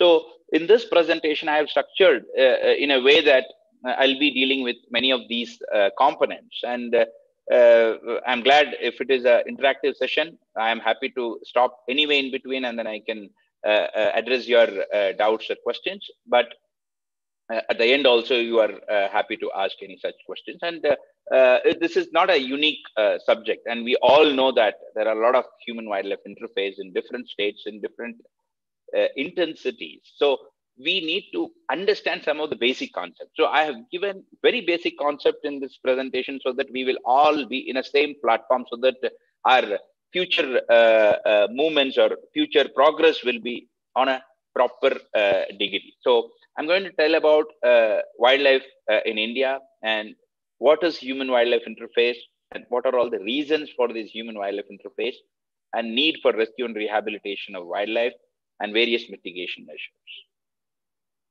So wildlife in India, of course, it's one of the 17 mega biodiversity countries, and we are rich in uh, wildlife uh, uh, wealth or even ecosystem. Uh, particularly, some of those statistics will give you a nice idea that our total forest area is 5.03 percentage, which is 1,71,921 square kilometers. And we have 981 protected areas. It's, it's in short called as PAs and 104 national parks, 566 sanctuaries, 97 conservation reserves, and 214 community reserves. And uh, you can see some of the other interesting facts or even the statistics. Our biodiversity is really, really rich, and we are all really uh, uh, blessed to have and live in such a wonderful uh, country. And uh, we do have 12.6 percentage of the entire avian species in our country. And similarly, 11.7 percentage of marine species in our country. 7.6 percentage out of the whole mammalian species are in our country. And there are many endemic species. So endemism is one of the beautiful subject. And we, if we talk about that, it can uh, go altogether a separate uh, presentation. So even we uh, have a lot of reptilian, flowering plant species, amphibian species, uh, very unique to our country. Yes, now we are getting into a proper uh, title of the presentation is man-animal interface. So what is man-animal interface? So this is uh, in simple, it can be defined as the interaction between the wild animal and the people. So uh, it may be resulted in negative or sometimes uh, to people or sometimes to their resources. And on the same side, it can be detrimental to the animal life as well as its habitat. So, uh, both these uh, pros and cons or even uh, uh, positive negatives may happen to either wildlife or to humankind. So, this takes uh, it, it emerges in different forms. And uh, but if you get to the bottom line of this information, it primarily because of man-made disasters. So that is why uh, it's very appropriate when we when we talk about uh, uh, uh, disaster management. It's not only about natural calamities. So we should definitely uh, understand that some of these disasters were made by people. So how can we be not responsible for such kind of unnatural or uh, man-made disasters? It is our responsibility to make sure that we understand the subject in order to uh, avoid such kind of blunder mistakes. So some of these examples you must have seen, uh, those were all over the uh, internet and uh, you can see uh, the elephants were uh, crop raiding into the field and then when the people really wanted to drive them away from their localities or even the neighboring forest, they, they do a lot of inhumane activities like throwing uh, fireballs and sometimes uh, uh, putting snares and then beating them to death. And a lot of a lot of inhumane approach.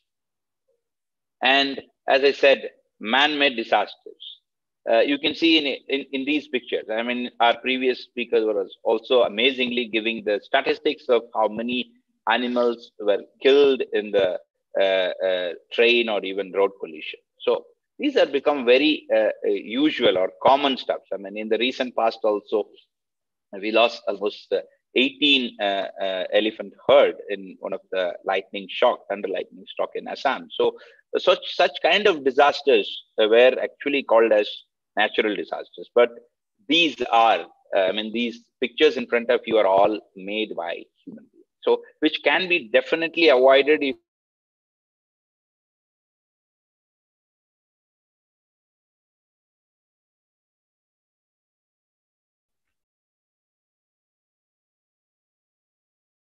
hello.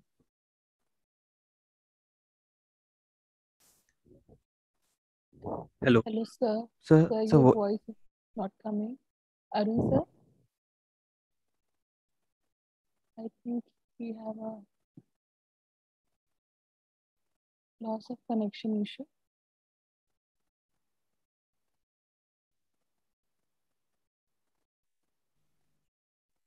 Arun, sir, can you hear us? Maybe uh, Yes, sir. He, he must be having a loss of connection issue.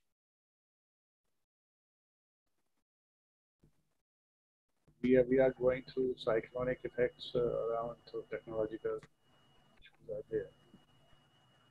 Yes. Ashish, sir, is contacting him. In the meantime, uh, Ashish, uh, Avdesh sir, uh, I want to ask you something. There was many questions going on in the chat box. Uh, uh, like, uh, uh, I'm just taking the benefit of the uh, available time here. In the mean, uh, sir is here. Sir, sir is here. Sir is here. Sir, you are on mute, sir. Please unmute yourself. Arun, sir. Arun, sir, please unmute yourself. Yes, sir. Uh, pre- previously, the host was not allowing me to unmute. Yes. Oh, sorry. Am I sorry, audible now? sorry, sorry. Yes, sir, you are audible now, sir. Yeah, yeah. I'm so sorry about the inconvenience because uh, uh, my uh, I'm near a jungle again. no, no, no. Is my screen on a full uh, slides? Mode? No, sir. No, sir. it Not is coming, on full sir. slide. Yeah. Yes. Not on full slide mode, sir. It is. What the- about now? Huh, yes, sir. It is not. Sorry, I, I got a power cut. I, I, I connected my phone now. Okay.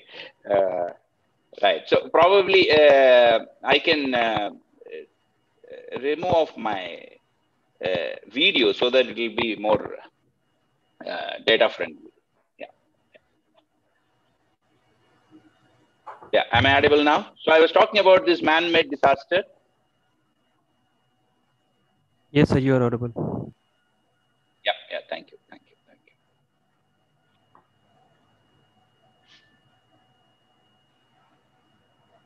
Yeah, all these kind of uh, uh, human wildlife interaction is primarily the imbalance between the ecocentrism and the anthropocentrism. Ecocentrism is nothing but, as our previous speaker was also mentioning, one of the beautiful quote from Mahatma Gandhi is the earth provides everything based on our need, not for our greed. So now the ecocentrism is basically a balanced approach between the existence of the animal and all the other life on the planet.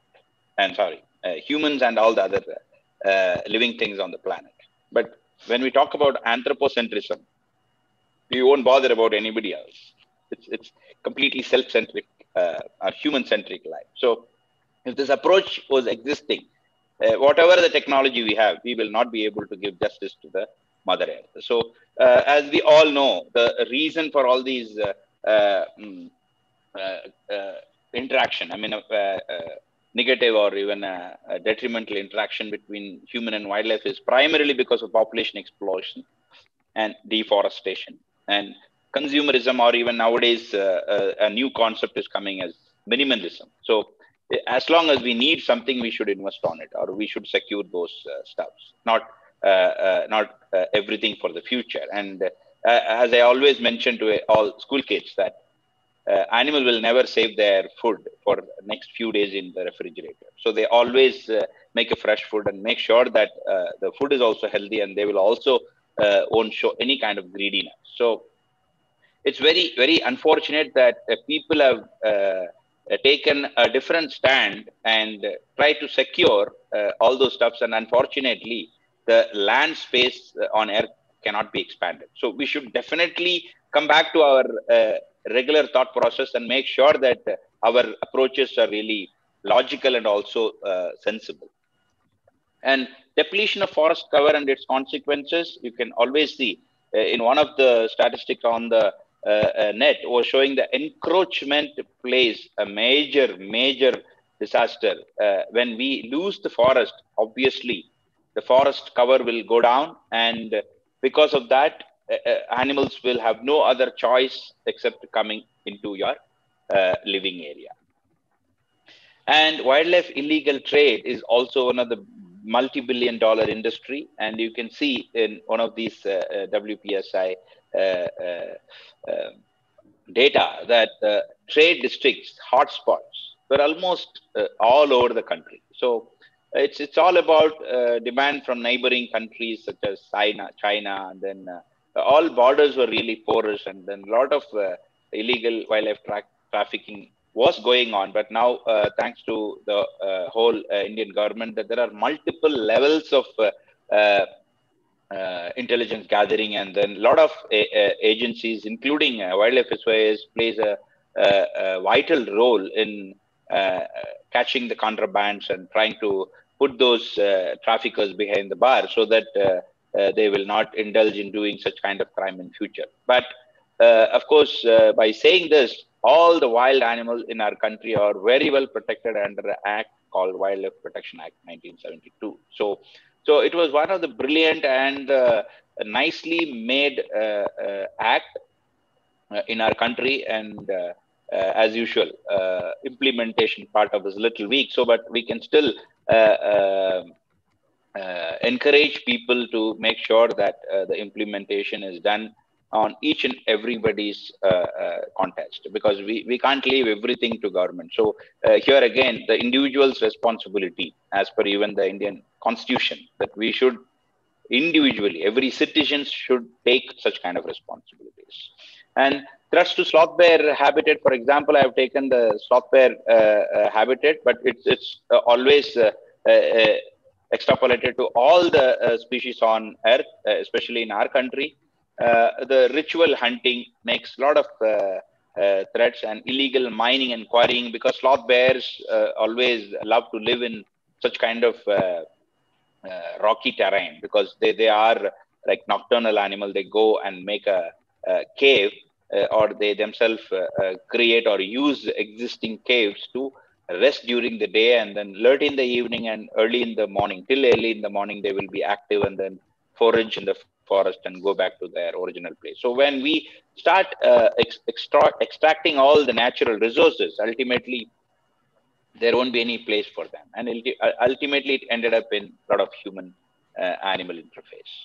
And by by doing such kind of uh, uh, uh extra extracting uh, all these natural resources, obviously these animals uh, will have no other choice, as I already mentioned. And uh, the reason uh, we need to understand the behavior is if you are not able to provide them what they really need the, by the nature, then you will not be able to stop any kind of uh, uh, human wildlife interface, either now or in future. So uh, for example, elephants walks for up to 40 kilometers per day. So if, if the habitat is shrinking after shrinking and then there are a lot of encroachment happening and then uh, all around the uh, protected area, a lot of development uh, projects are coming up means then uh, there won't be any option for these big herds. I mean, herds sometimes will be like 40, 50 elephants and then multiple herds makes a clan. So imagine one or two clans put together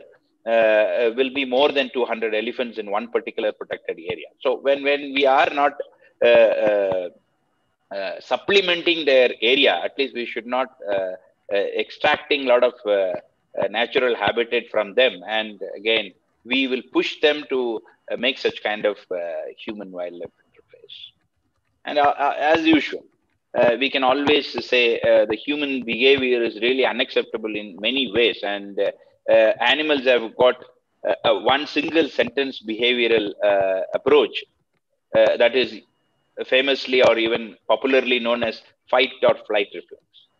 So it's just very simple for any animal for that matter. So if, if they were challenged, definitely they will try to escape from the location, which is a flight response. If they are not able to do and they have no other choice apart from uh, uh, trying to fight with the opponent, then they have to take that mode of uh, uh, fight uh, uh behavior or fight uh, action. But here you can see people will go and then uh, do a lot of nonsense things like taking selfies in front of wild tuskers, and they will be chasing the animal, throwing some kind of fireballs, which definitely makes them very arrogant or sometimes even aggressive uh, because they have no other choice and these kind of messages or even pictures are coming all over the country, and it's it's of course very discouraging but we, we have to make sure that uh, people should have adequately uh, educated and make sure that such kind of conflicts can be mitigated in a very sensible way. And uh, we always uh, uh, think that we are human beings, but being human is more uh, Uh, appropriate in this uh, particular uh, issues.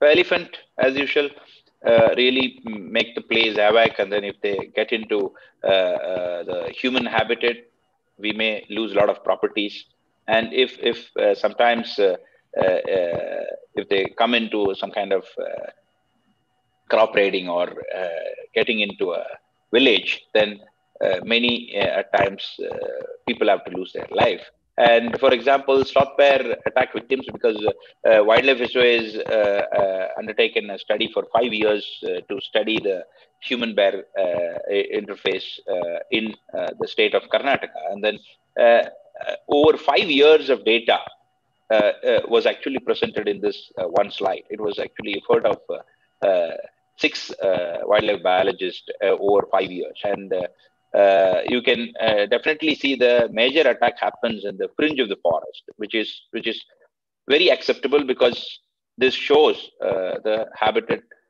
degradation or even uh, uh, habitat loss or even habitat encroachment is the only reason for them to come out for their basic food and water. So animal casualties, as you can see here, this animal was trying to escape a simple uh, statement of fight or flight reflex. So if we are not allowing them to run away, then definitely they will take another uh, uh, other uh, mode of uh, action, and then uh, at the end they have to lose their life because human beings are always dominant, and they, they for some reason they always say that there is no other species need to be with us. So so it's it's it's very unfortunate that the behavior of uh, human beings are literally unacceptable many many times. I mean this was one of the recent uh, video happened uh, in one of the southern state. And uh, you can see uh, a bear got onto a tree and then uh, they they came to know in the morning. And it's a simple mitigation tool that if you just leave the bear undisturbed they being a nocturnal animal they would have climbed down and then vanished from the place uh, on their own. But putting or setting fire on uh, their body is definitely unacceptable and then not necessary. And this is not the way to uh, create animal casualties. And then if the, if, the bear comes down because of uh, the bodily uh, irritation or a, a, problem, then we will have to uh, admit some of the people into ICU. There is no other choice. So on the other ground, the casualties uh, not always uh, by the uh, big mammals or animal attacks. It's, it happens primarily because of snake bite. So it's again our duty to make sure that uh, we would be able to identify this big four venomous snakes. So it's not a big rocket science. And if you can, uh, nowadays with the uh, advantage of the media, you can see multiple photos and multiple uh, uh, angles of photos and different age groups of uh, or sizes of these snakes. And then make sure that you are very much understanding these four big venomous snakes in our country. So and uh, again i would like to mention here that all these four venomous snakes have got anti-snake venom with us. So so we can easily help the victim and we can uh, most of the time if the if the delay is not so much we can definitely uh, uh, make the victim survive so that's why uh, it's it's very important to understand and uh, uh, make sure that our behavioral aspects towards these smaller animals has to be very ethical as we all know that if we are not keeping our surrounding clean then automatically it invites rats and then by default uh, it, it, it uh, tracks snakes. So we should uh, implement all those basic knowledge because every, I am sure everyone uh, already read about the food web, food chain, all those things in our school days. But but what is the implementation happening? How far we are trying to implement uh, such things on the real life? So that is why I mentioned in the beginning itself. It's it's every individual's responsibility to make sure that we are consciously making some mistake. So that's very important. And here you can see some of this mishandling is only creates a, a lot of casualties. Uh, on the left side video, someone was trying to kiss the snake. Is that really necessary? So uh, ultimately, that particular guy uh, uh lost his life because uh, that particular uh, cobra has kissed him back in his lips, and then he lost his life. So I, I, don't think it is an desired activity, and we should not show our heroism uh, in front of these poor animals. And then on the other side, also, you could have seen that uh, he was trying to mishandle the animal by just uh, putting the hook on the head. So, this hook or head fixing is definitely not a good method of uh, uh, dealing with the snake, especially these kind of vipers. Uh, he also lost his life. So, coming to mitigation measures, it's it's very good area to uh, uh, find and then create a lot of innovative mitigation measures. And uh, these are come of some of the traditional way of doing mitigations like physical method uh, through barriers and uh, other uh, physical methods. I'll be showing you some photographs in the coming forthcoming slides and financial compensation or subsidized fodder supply by the government, behavioral mitigation measures, educational uh, based mitigation measures, scientific technology, and use of uh, advanced technologies for uh, uh, mitigating the human wildlife interface and rescue and rehabilitation process. So uh, I just wanted to uh, mention here that there is no universal method for every species or every geographical location. So it's always site specific and situation specific and species specific. So uh, uh, one should uh, keep this in mind and then try to come up with an innovative method. At the same time, it should be uh, user friendly and animal friendly. At the same time, it should be economical. Otherwise, uh, uh, as we know, even I could really take the example of our last speaker that though we have a lot of advanced technologies in teaching kids, but uh, when we think about Indian scenario, then we have to customize some of those things. I mean, uh, even though if it is a jugaad, then but still, which is really presentable and available and doable, then we should stick on to so, such kind of uh, mitigation ideas. Though if it is not 100 percentage uh, uh, result oriented, but still nothing wrong in uh, doing something as far as it is not, or as long as it is not hurting any animal or even the people or any other ecosystem of the particular area.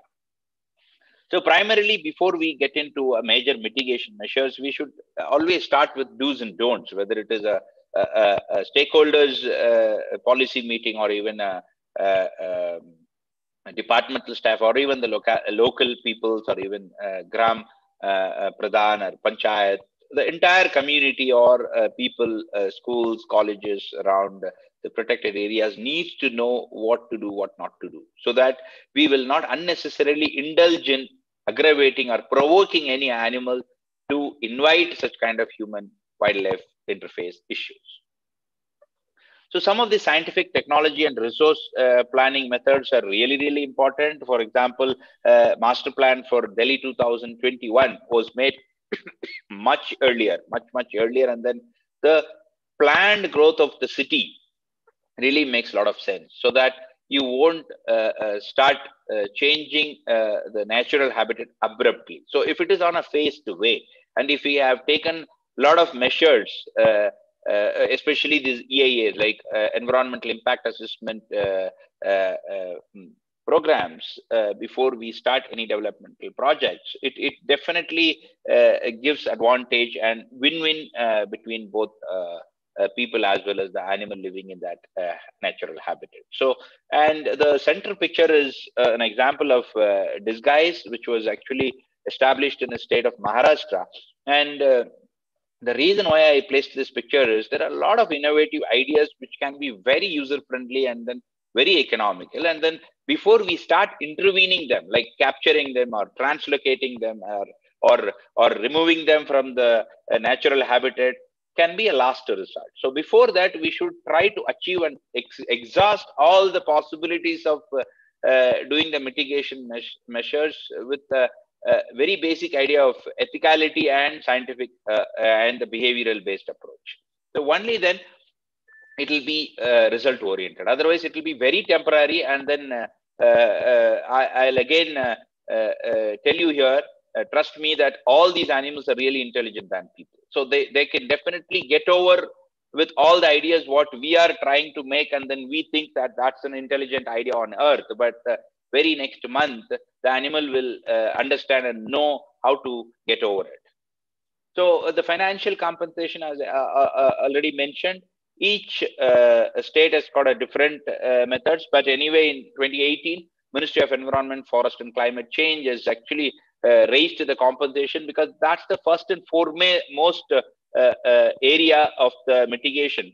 Because the retaliation killing or retaliation towards the animal can be addressed because uh, uh, once somebody lost their property or even house or uh, their keti or even life of their family members, definitely they will be really upset and they will be showing their anger towards this animal. So that's why a lot of retaliation killing, either electrocution or sometimes even um, uh, putting snares or even the country made bombs or uh, poisoning. So, in a number of uh, uh, retaliations are uh, happening uh, nowadays. So we should make sure that the uh, sentiment should not be affected or should not be touched because of these animals. Because when someone is not in a good uh, phase of mood, like if they lost any of their property or a farmer lost their farmland or their complete yield on that particular year or lost their family members then definitely there won't be any uh, uh, success if you are trying to go and then educate them or giving them awareness program at that point of time. So that is why uh, the ministry has came up with a wonderful idea, and it is not a new idea. I mean, it started from 60,000 now. the grievous injury people gets two lakhs against their bodily injury. So uh, uh, over uh, this 2016-17 to 18-19, uh, the government has paid a compensation of over 48.14 crores. So it's not an uh, uh, easy uh, task, but at the same time, uh, this is one of the very major and the key factor that uh, the financial compensation uh, gives such kind of uh, support to the existing wildlife in and around the mm, villages, especially the hamlets present in and around the villages, or sometimes even some of those uh, tribal people living inside the protected areas should really need such kind of compensation so that the retaliation can be reduced or completely avoided. And useful barricades, as I was mentioning, electric fences, those were again uh, uh, good practice, but again, uh, it has got its own disadvantages like uh, high amount of maintenance is needed.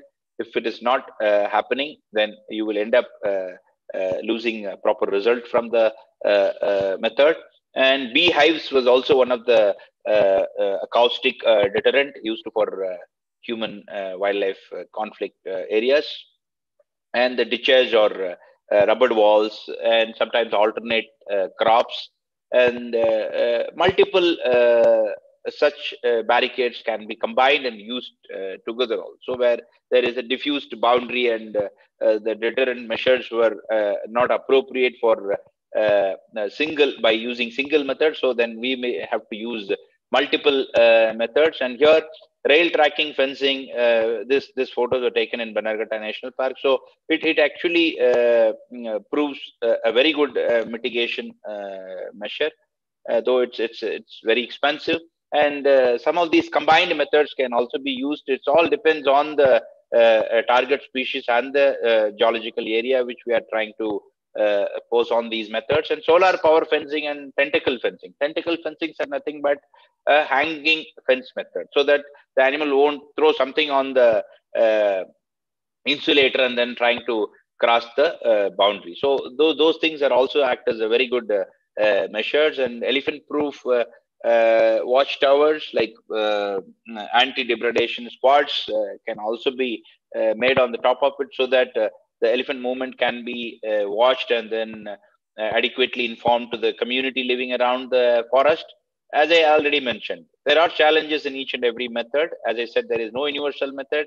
When they get over the new technology, then we have to also make sure that we are moving moving ahead and then creating some innovative ideas of doing uh, mitigation measures. And uh, the conflict mitigation, one of the conflict mitigation uh, measure is to rescue and rehabilitate them back in the wild. So uh, uh, generally, it can be either physical or chemical method. Physical methods uh, can be only applied for few smaller mammals and then few of the equipments like traps, nets, snares, bomas, hooks, shoots can be used to capture some of the small mammals and immediately can be uh, released like our common rescue and release of snakes and chemical capture needs specialized uh, uh, professionals and then every drug is based on their species and their body weight and accordingly the remote injections can be used to tranquilize and then make sure that uh, uh, they were adequately monitored before they get revived and then released back in the wild. In case if they have got some kind of uh, um, deadly injuries then they can go back to a rehabilitation center under veterinary care and then make sure that uh, they don't have any kind of uh, uh, Uh, uh, welfare issues in the captive uh, situation. And uh, this is one of the video I just wanted to share with you all that when when the animal goes back into the wild, it gives you a lot of pleasure and then kind of uh,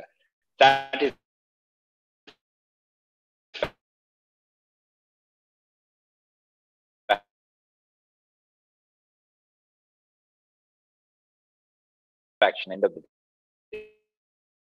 so, so, so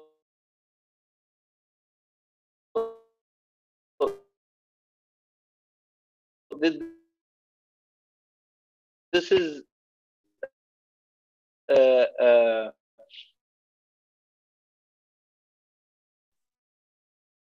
one of the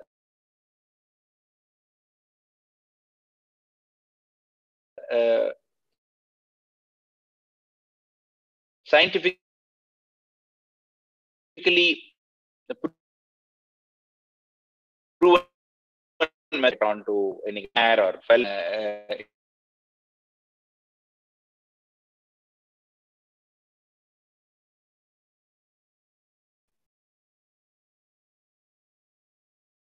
I think sir has lost his connection again.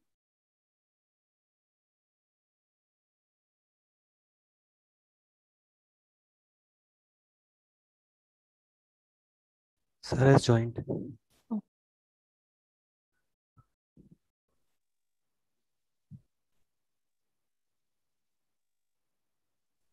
Hello. Yes, sir. Am I audible, sir?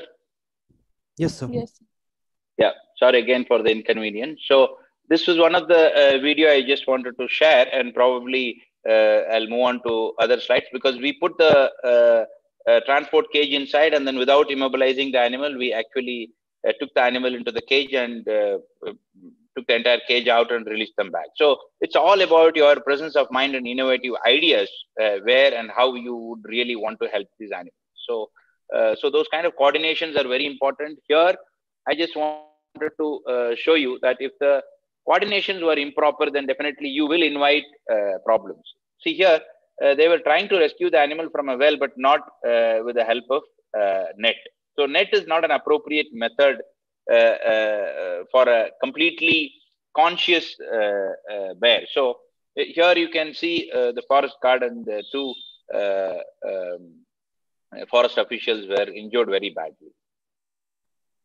And wildlife SOS have actually uh, made a very good progress on uh, avoiding the human leopard uh, interface, especially in Maharashtra, whenever they were actually giving birth uh, uh to their young ones into sugarcane field, and most of the time the farmer or sometimes even uh, uh, the people around that particular field will remove the babies, I mean the cubs, and then hand over to the forest department, thinking that the young ones were abandoned by the but uh, which is actually not true.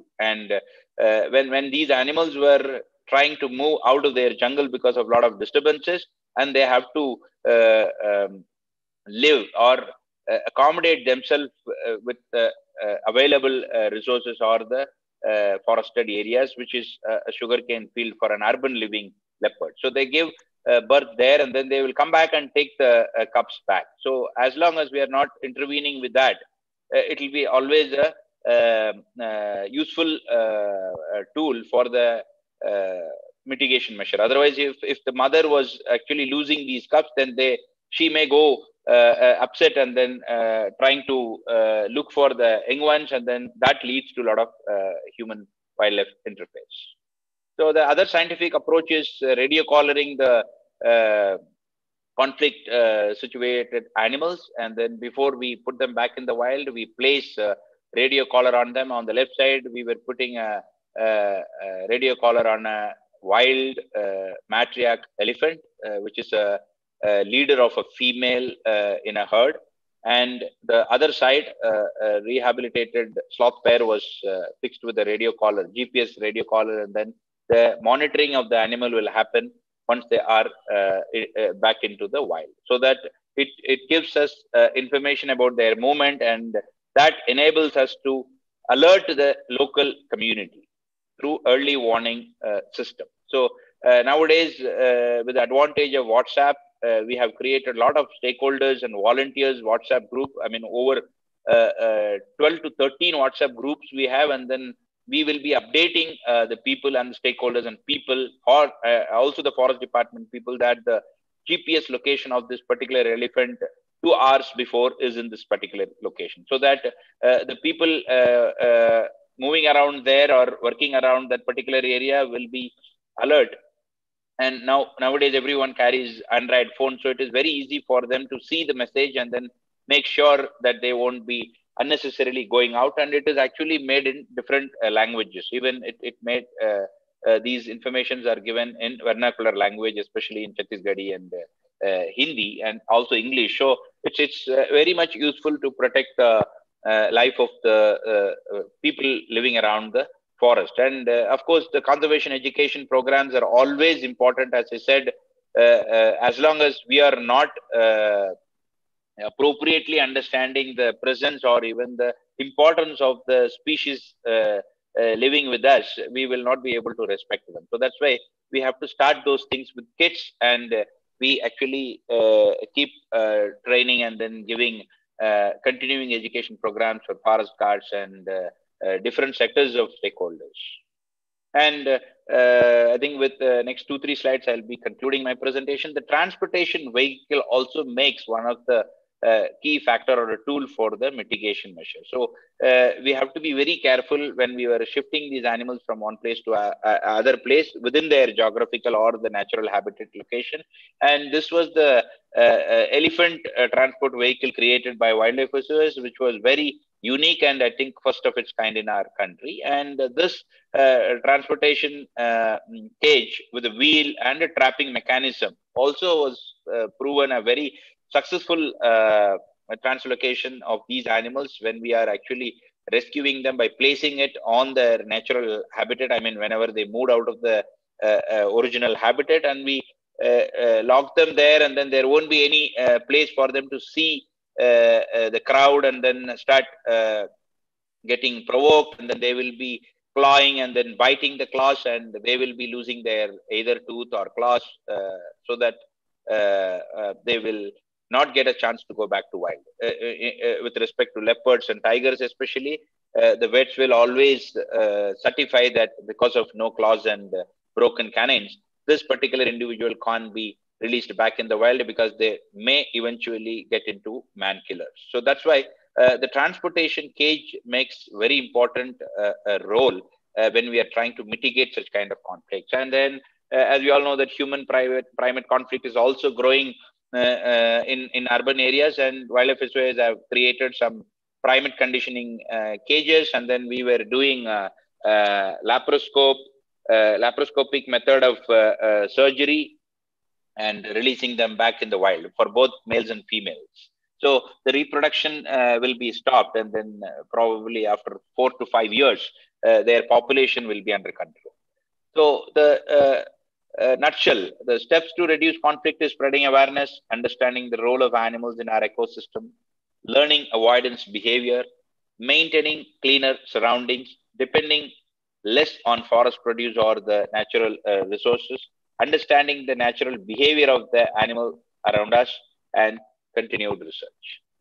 So, and apart from that, the effective collaboration. Now, also, I really encourage the collaboration between uh, NIDM and uh, uh, the other institute. That such kind of collaborations always proves uh, very successful and uh, interesting for every stakeholders or even the future generation should understand the concept of the entire ecosystem so that uh, uh, we can achieve in a better way. So uh, I, I, would really insist all the participants here, whatever the way of collaboration is possible in your respective expertise can always help dealing with all living being on the earth. So uh, don't ever think that okay i'm an engineer i will not be able to contribute so i'm a doctor i will not be able to contribute so wherever whatever the field even the architectural designers are making a lot of uh, uh, uh fencing mechanisms or fencing designs in order to uh,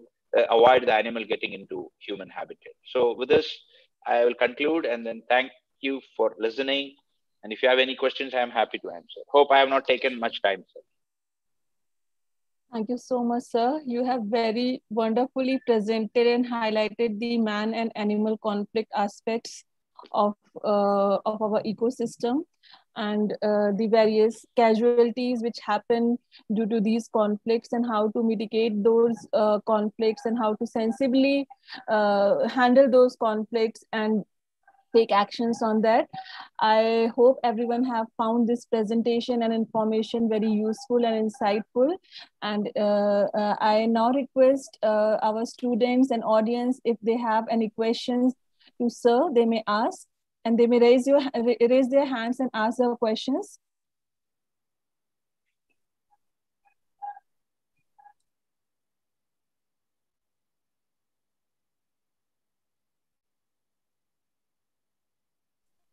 Sir, I have been uh, messaged by one of my students to ask a question. What should be our behavior if we come across any wild animal accidentally? Yeah, wonderful question. So, in case if you are in your place and then encountering such things, uh, you have to immediately inform the forest department. In case if you are in their place, then you have to be quiet.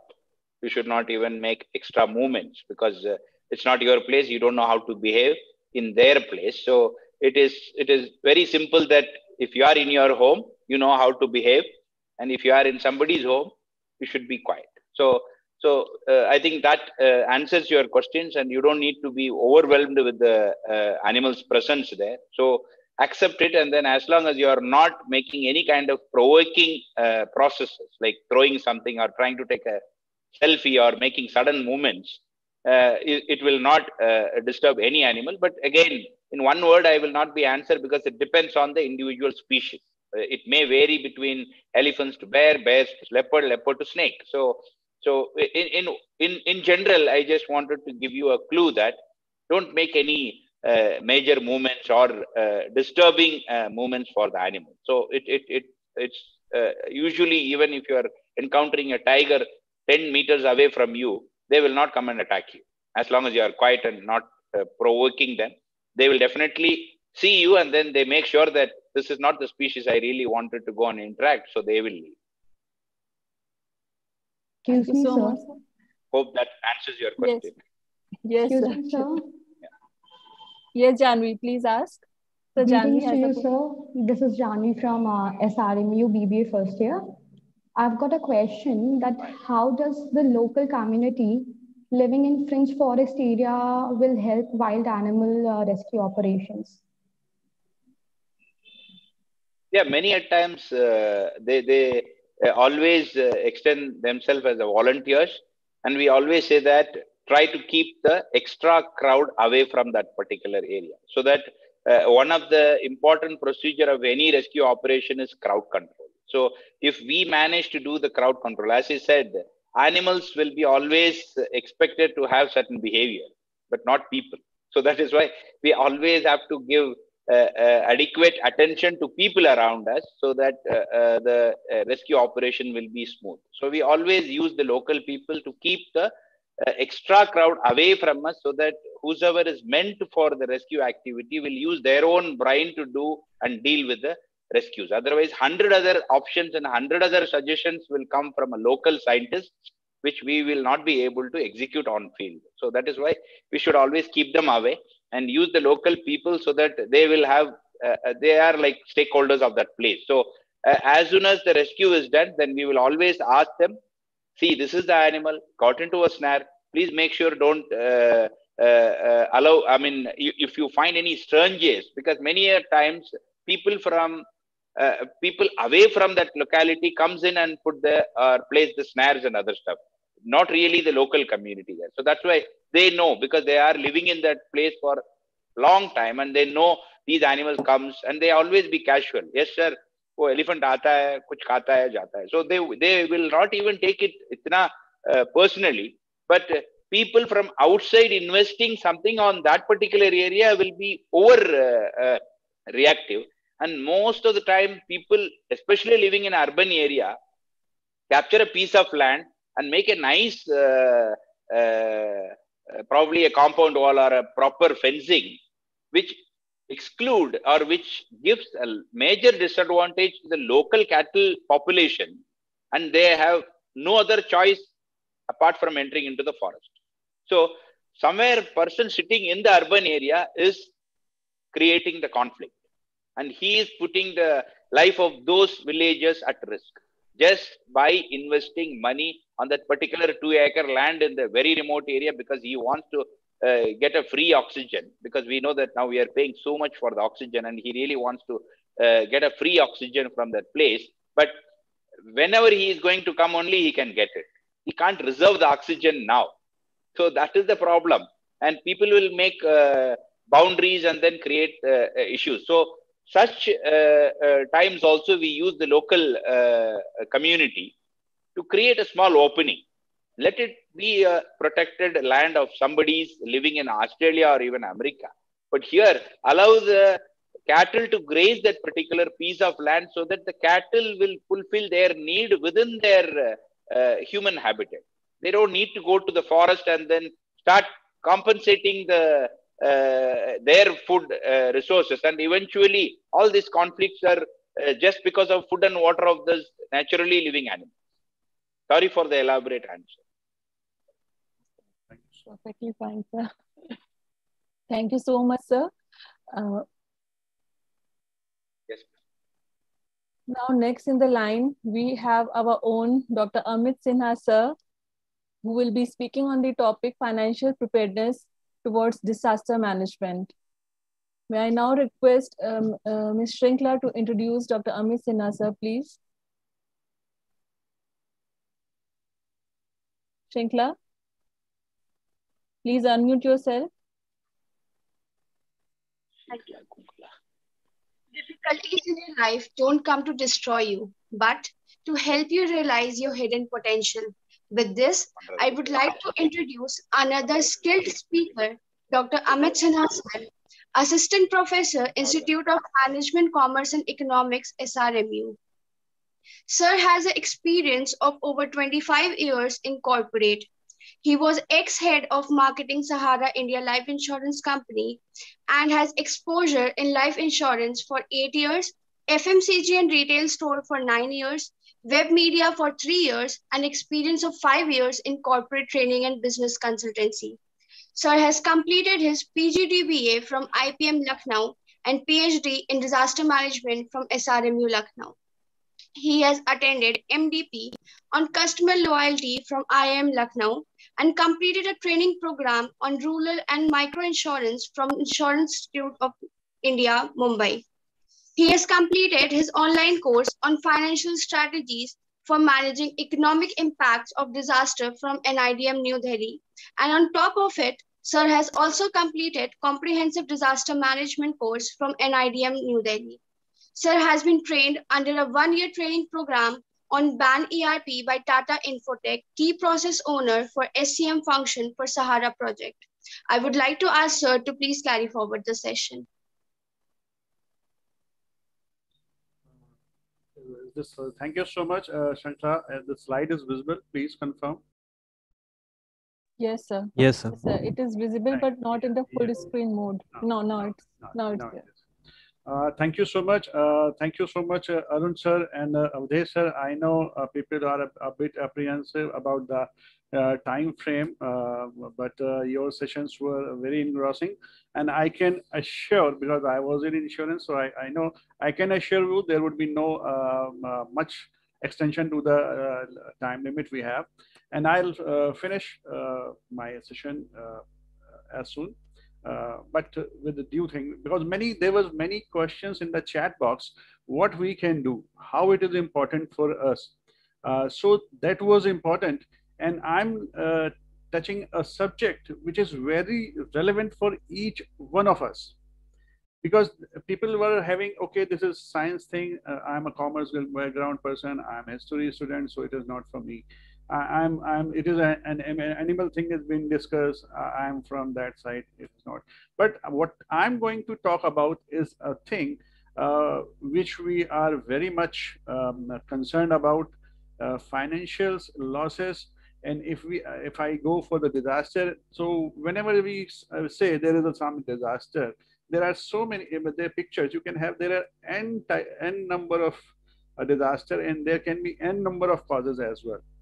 Uh, but if we say, if I ask you, what do you really imagine when what comes in your mind when you uh, just see something happening uh, or listening information somewhere? So I'm just giving you a blank slide here, and I want you to just maybe you can uh, have um, um, close your eyes and think for a while.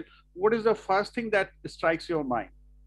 like Avdeji was saying, it takes seconds to happen, uh, earthquake to happen, and maybe in within two, three seconds, things happen like anything.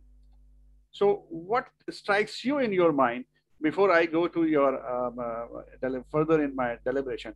So I, I believe you have something image, maybe it's a, in, an image of mass destruction. Yes or no? You can uh, give me some uh, input in chat box. Yes or no?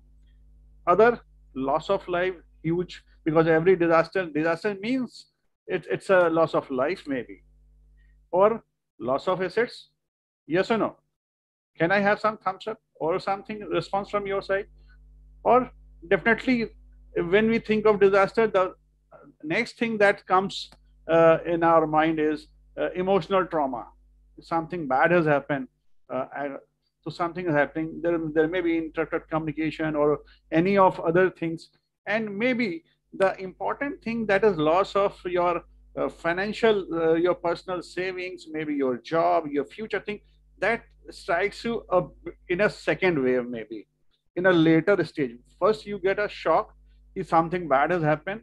The very word disaster is a combination of two words, dis and astro. It's a uh, Greek uh, uh, term that that means bad star. So something bad has happened, and it can be in various forms. But the very important fact which we all connected with are the uh, our, our savings, our, our present saving, our future savings, uh, or our assurance for our future lives. So what I'll try to do, give you a conceptual uh, criteria which you can have, and there are there would be some tips which you can practically uh, start uh, practicing from the day one itself. Maybe after this session, you can uh, do something for the your your own disaster preparedness. So there is a small, um, uh, if we say what is the disaster management cycle. So uh, there is an event that disaster has happened. So uh, next thing is having a response. Arun sir, do you have any question or it was in response to my question. I think uh, that thing is clear now. Uh, so uh, disaster happens, we, we come directly go for a response, uh, maybe in terms of saving some lives, maybe providing some relief, uh, uh distributing food, maybe clothes, something. And there is a phase of disaster recovery. And then again, it's a mitigation, prevention, and reduction of a disaster that is planned out of this learning and these two phases, there's a disaster preparedness. comes here. So if broadly we see, see there are five uh, uh, elements of a disaster management cycle. There is response uh, and recovery and prevention, mitigation, and preparedness. So what I'm going to touch is up your preparedness thing, and especially uh, related to finance, right? Uh, basically, disasters uh, saying some extreme event that happens and that that that events have some hazardous element in them, and there is a vulnerability a vulnerability and then disaster happens. So this is a very simple equation. There may be extreme event happening in the maybe if uh, some some low pressure area is being created way uh, high high seas. So it may not have, though it is a dangerous, but it will not have effect on human life. So it it is hazard, hazardous. But since um, humans are not uh, near to that event, or maybe in some uh, desert storm is there uh, in, in, in, desert, but where there is no population, so vulnerability is not there, and then there is no disaster. But if all three things are matching, then there is a disaster. Here is a simple formula for that. And here I would like to uh, bring your attention vulnerability in terms of maybe resources uh, is very important because if you can cope with that vulnerability, then there would be no disaster. For example, uh, there are um, countries in current pandemic time, those who are advanced uh, technology, they have advanced technology in terms of medicine, in some of supply chain things. So uh, there we can very say disaster impact is lesser. And those who have uh, resource, they are lesser in a source, definitely disaster are uh, there in a bigger way. So it's a simple uh, definition. I will not uh, go into detail uh, as uh, we are approaching the time, but uh, I want to bring you to a certain um, awareness level why this uh, financial preparedness is very important in uh, our time. So, uh, brief history. way back in 1990, 90 to 99, the first time something happened at international level when United Nations declared disaster, a decade for natural disaster reduction. Then there was a first uh, conference happened in Yokohama in 1904 in Japan, where it was uh, all the member of United Nations decided to have form a, some strategy for a safer world. Safer world where uh, uh disaster are having lesser impact. So there was an outcome, there was a Yokohama strategy. And then in second conference happened in uh, 2005 in Kobe, Hyogo again in Japan.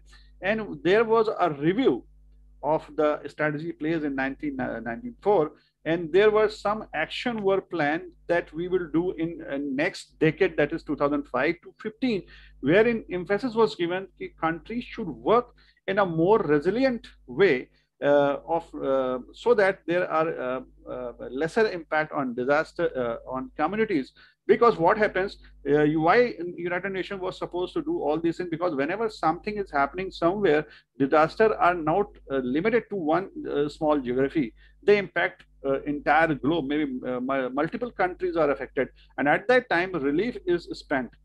So united nations as a as a, as a core body of uh, all the countries nations they have some responsibility. So they thought it is better to have some resilience and third conference that happened in 2015 at Sendai in Japan, wherein it was says there should be uh, some work on disaster risk reduction and the time frame given was 2015 and 30 the, the logic of showing this uh, screen is this is what the happening uh, uh how disaster management is uh, being taken yesterday uh, though dr mr ashish panda sir have given a thought on it and presented this thing so I'm, I want to uh, uh, emphasize some priorities that were placed in 2000 and Sendai framework.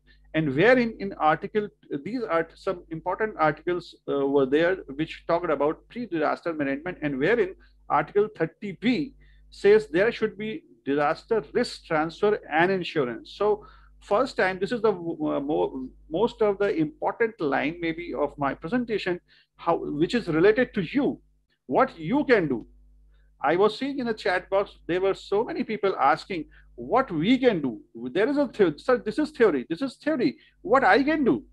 And I can tell you, my dear friends, uh, uh, I've been in insurance business for quite some time, and uh, still in India, the insurance penetration is less than uh, maybe 7%. And now you can see from a vulnerability from the point of disaster, if we want around 140, uh, 140 crores people are having an insurance penetration of around 6 to 7%, you can understand what sort of vulnerability and disaster we are talking about. It's a financial disaster. And at, at global level also, it is said in a study, if you are spending one, there is a ratio of one to 10.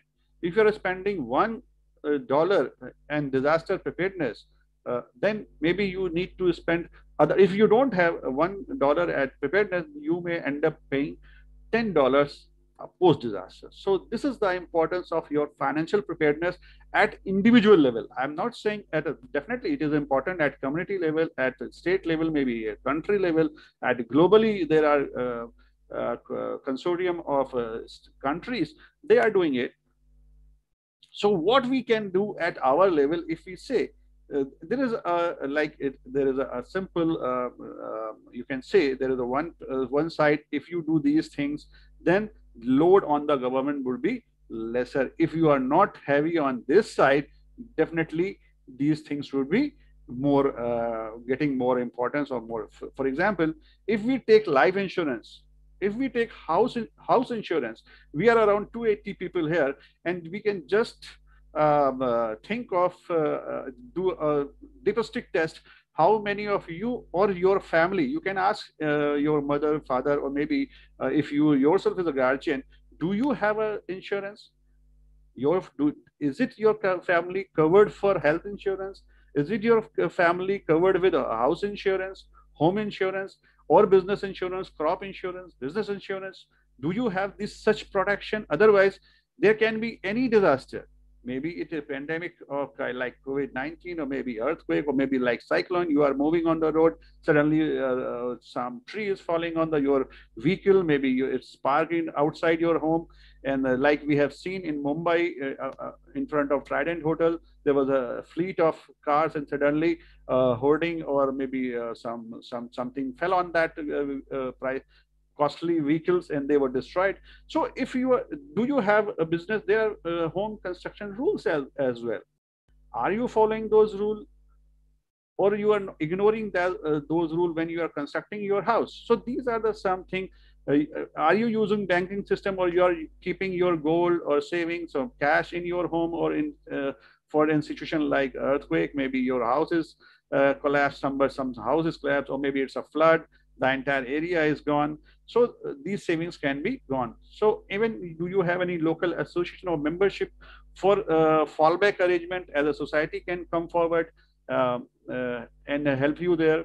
So these are the some basic precaution preparedness uh, um, uh, tools I can share with you and you can think of and you can practice it maybe from today itself if you are doing that, then maybe the society or government maybe need they need to release lesser uh, subsidy. They need to uh, uh, spend less on the rehabilitation. There are uh, lesser expenditure on a public uh, maintenance. Uh, there are lesser loan waiver is to be given. various compensation maybe of a lesser amount. Because if these amounts are not lesser, then government will not be able to spend on the welfare of the society back they cannot use these funds in developmental issues. So this is again a very important aspect how we are managing our disasters. So uh, uh, I'll try to share some recommendation, though it's on personal level, but uh, I'm sure NIDM say uh, Ashish Panda sir is here, he can have a look on this and maybe uh, we can have some policy somewhere. Um, uh, government may make life insurance compulsory for especially in, in India country like India, it cannot be made compulsory because of variation in income levels. There are so many people that they are below poverty line and government needs to provide food maybe almost free at a rate of two rupees or one rupee maybe. So but especially the people uh, living in a disaster prone area can be given a compulsory insurance uh, it's a matter of debate then their government can offer tax benefits maybe for a lesser house tax uh, or lesser income tax if you are complying disaster uh, norms, uh, making your home or you have taken insurance cover. Maybe tax rebates can be given there. Excuse me. Or a government scheme should be well intimated. Many times government has having some uh, scheme for the people in certain area, but uh, because of uh, uh, non information or uh, lack of awareness, people are not uh, uh, going there and not taking advantage of that. I'll finish maybe in a next slide itself. And please don't worry, we will exceed the time. Excuse me. Their government's role is of a custodian. like I said, if the government is supposed to spend money, more money on the uh, compensation or post disaster event. So uh, government can save this money if they are spending on the uh, preparedness. There can be some uh, scheme or wherein government can arrange a fund for such disaster if they invite contribution from people maybe in terms of 5 rupees or 10, uh, 10 rupees at national level 10 rupees or 5 rupees for a state level and manpower deployed at SDMA, uh, DDMA and Panchayati level yesterday uh, sir has given the structure uh, in India. So we can utilize this manpower to control money or even um, like BPL card holder at there and Jan Dhan Yojana account is there. So we can get uh, uh, give receipt or generate receipt and people can have option if they can be uh, 5 rupees, 10 rupees can be deducted from that place. Otherwise, people can be uh, can be given monetary uh, disaster insurance. They can automatically given insurance cover by just having a rider of rupees five uh, or 10 maybe from uh, like whenever you are having a buying a health insurance there can be rider of 5 rupee or credit card when you are having almost all of you must be having credit card or debit card but if there is a policy of compulsory disaster um, uh, insurance in, a, in form of rider of rupees 10 15 20 50 uh, you can very well uh, go for that and have that thing and safeguard yourself. So these can be some uh, uh sorry uh, uh, options. And again there can be government can encourage ppp model that is public private partnerships uh, for uh, disaster, financial preparedness of disaster. Like there are so huge CSR funds with the company. It is made compulsory under company law to uh, if some companies having profits, so they have to part their certain uh, um, uh, profit into CSR and this CSR funds can be channelized through disaster management. There can be fixed policy for that. If a company in that area, maybe some hilly area, there are companies that are registered, then they have to spend certain amount in that particular area for disaster resilience maybe uh, making of a building or maybe retrofitting like in civil engineering there was uh, walls or there uh, there are rivers or maybe there can be border bodies so these csr funding can be utilized in uh, re-strengthening the old structure. Like yesterday professor anil uh, kumar gupta ji has said we need uh, we need to combat with the sick building syndrome. So maybe that CSR funding can be channelized towards those buildings for which uh, maybe public sector uh, buildings, public building, old uh, heritage buildings, where no direct investment or direct expenditure is not possible government can also promote group insurance as at block level and village level and maybe subsidy can be provided there. Again government can promote direct benefit transfer to attract maximum enrollment of people from disaster prone areas. Point is that if uh, uh, for example if you are living in a, a disaster prone area maybe in a hilly area or flood area and your house tax is linked with the, that uh, disaster compliance thing. If so you have your house there you have taken some uh, insurance. So there would be direct benefit transfer to your account from the government. Or government can uh, may, can ask people uh, maybe insurance uh, uh, IRDAI of India to uh, instruct company to come forward make such a customer friendly um, insurance scheme. Like in today's pending time there were corona uh, cover was offered by many health insurance company you have to uh, spend a small amount and your corona treatment is taken care of under insurance.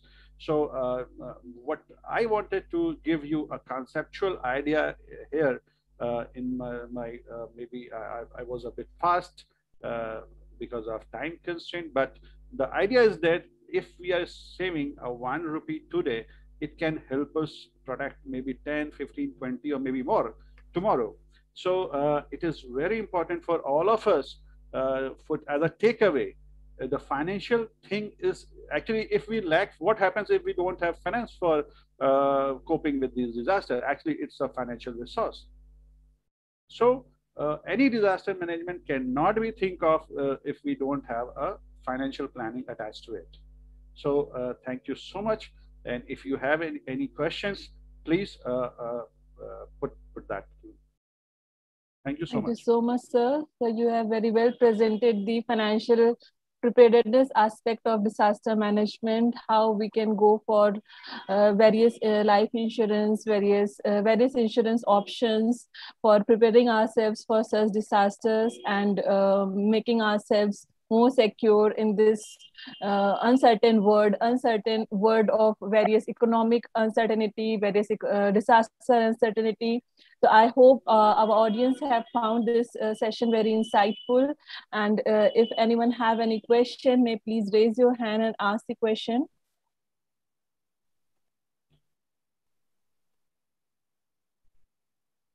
Anyone from the audience who want to ask some question? Mansavi Singh. Yes. Hello. Uh, uh, hello, ma'am. Uh, am I audible? Yes, yes. yes. You are. Uh, hi, everyone. Uh, my name is Manasvi Singh, and uh, I'm a final year architecture student. So my question is from actually everyone. Uh, Amit Sinha sir, Avdesh sir, and Ashish sir. Uh, so, uh, due to these emerging disasters, which are actually uh, very unpredictable, so what possibility do you see that how can we inculcate these disaster management paradigms into the urban fabric of India? Because as you can see, the urban fabric is growing substantially, and it's it's uh, in a way it's staggered. So do you see a possibility of uh, maybe container houses taking place uh, or uh, they are being placed into the urban fabric of our country so that these disasters um, see we can't stop these disasters but we have to be prepared at some point so do you see a potential future of such kind of technology that is being introduced in india?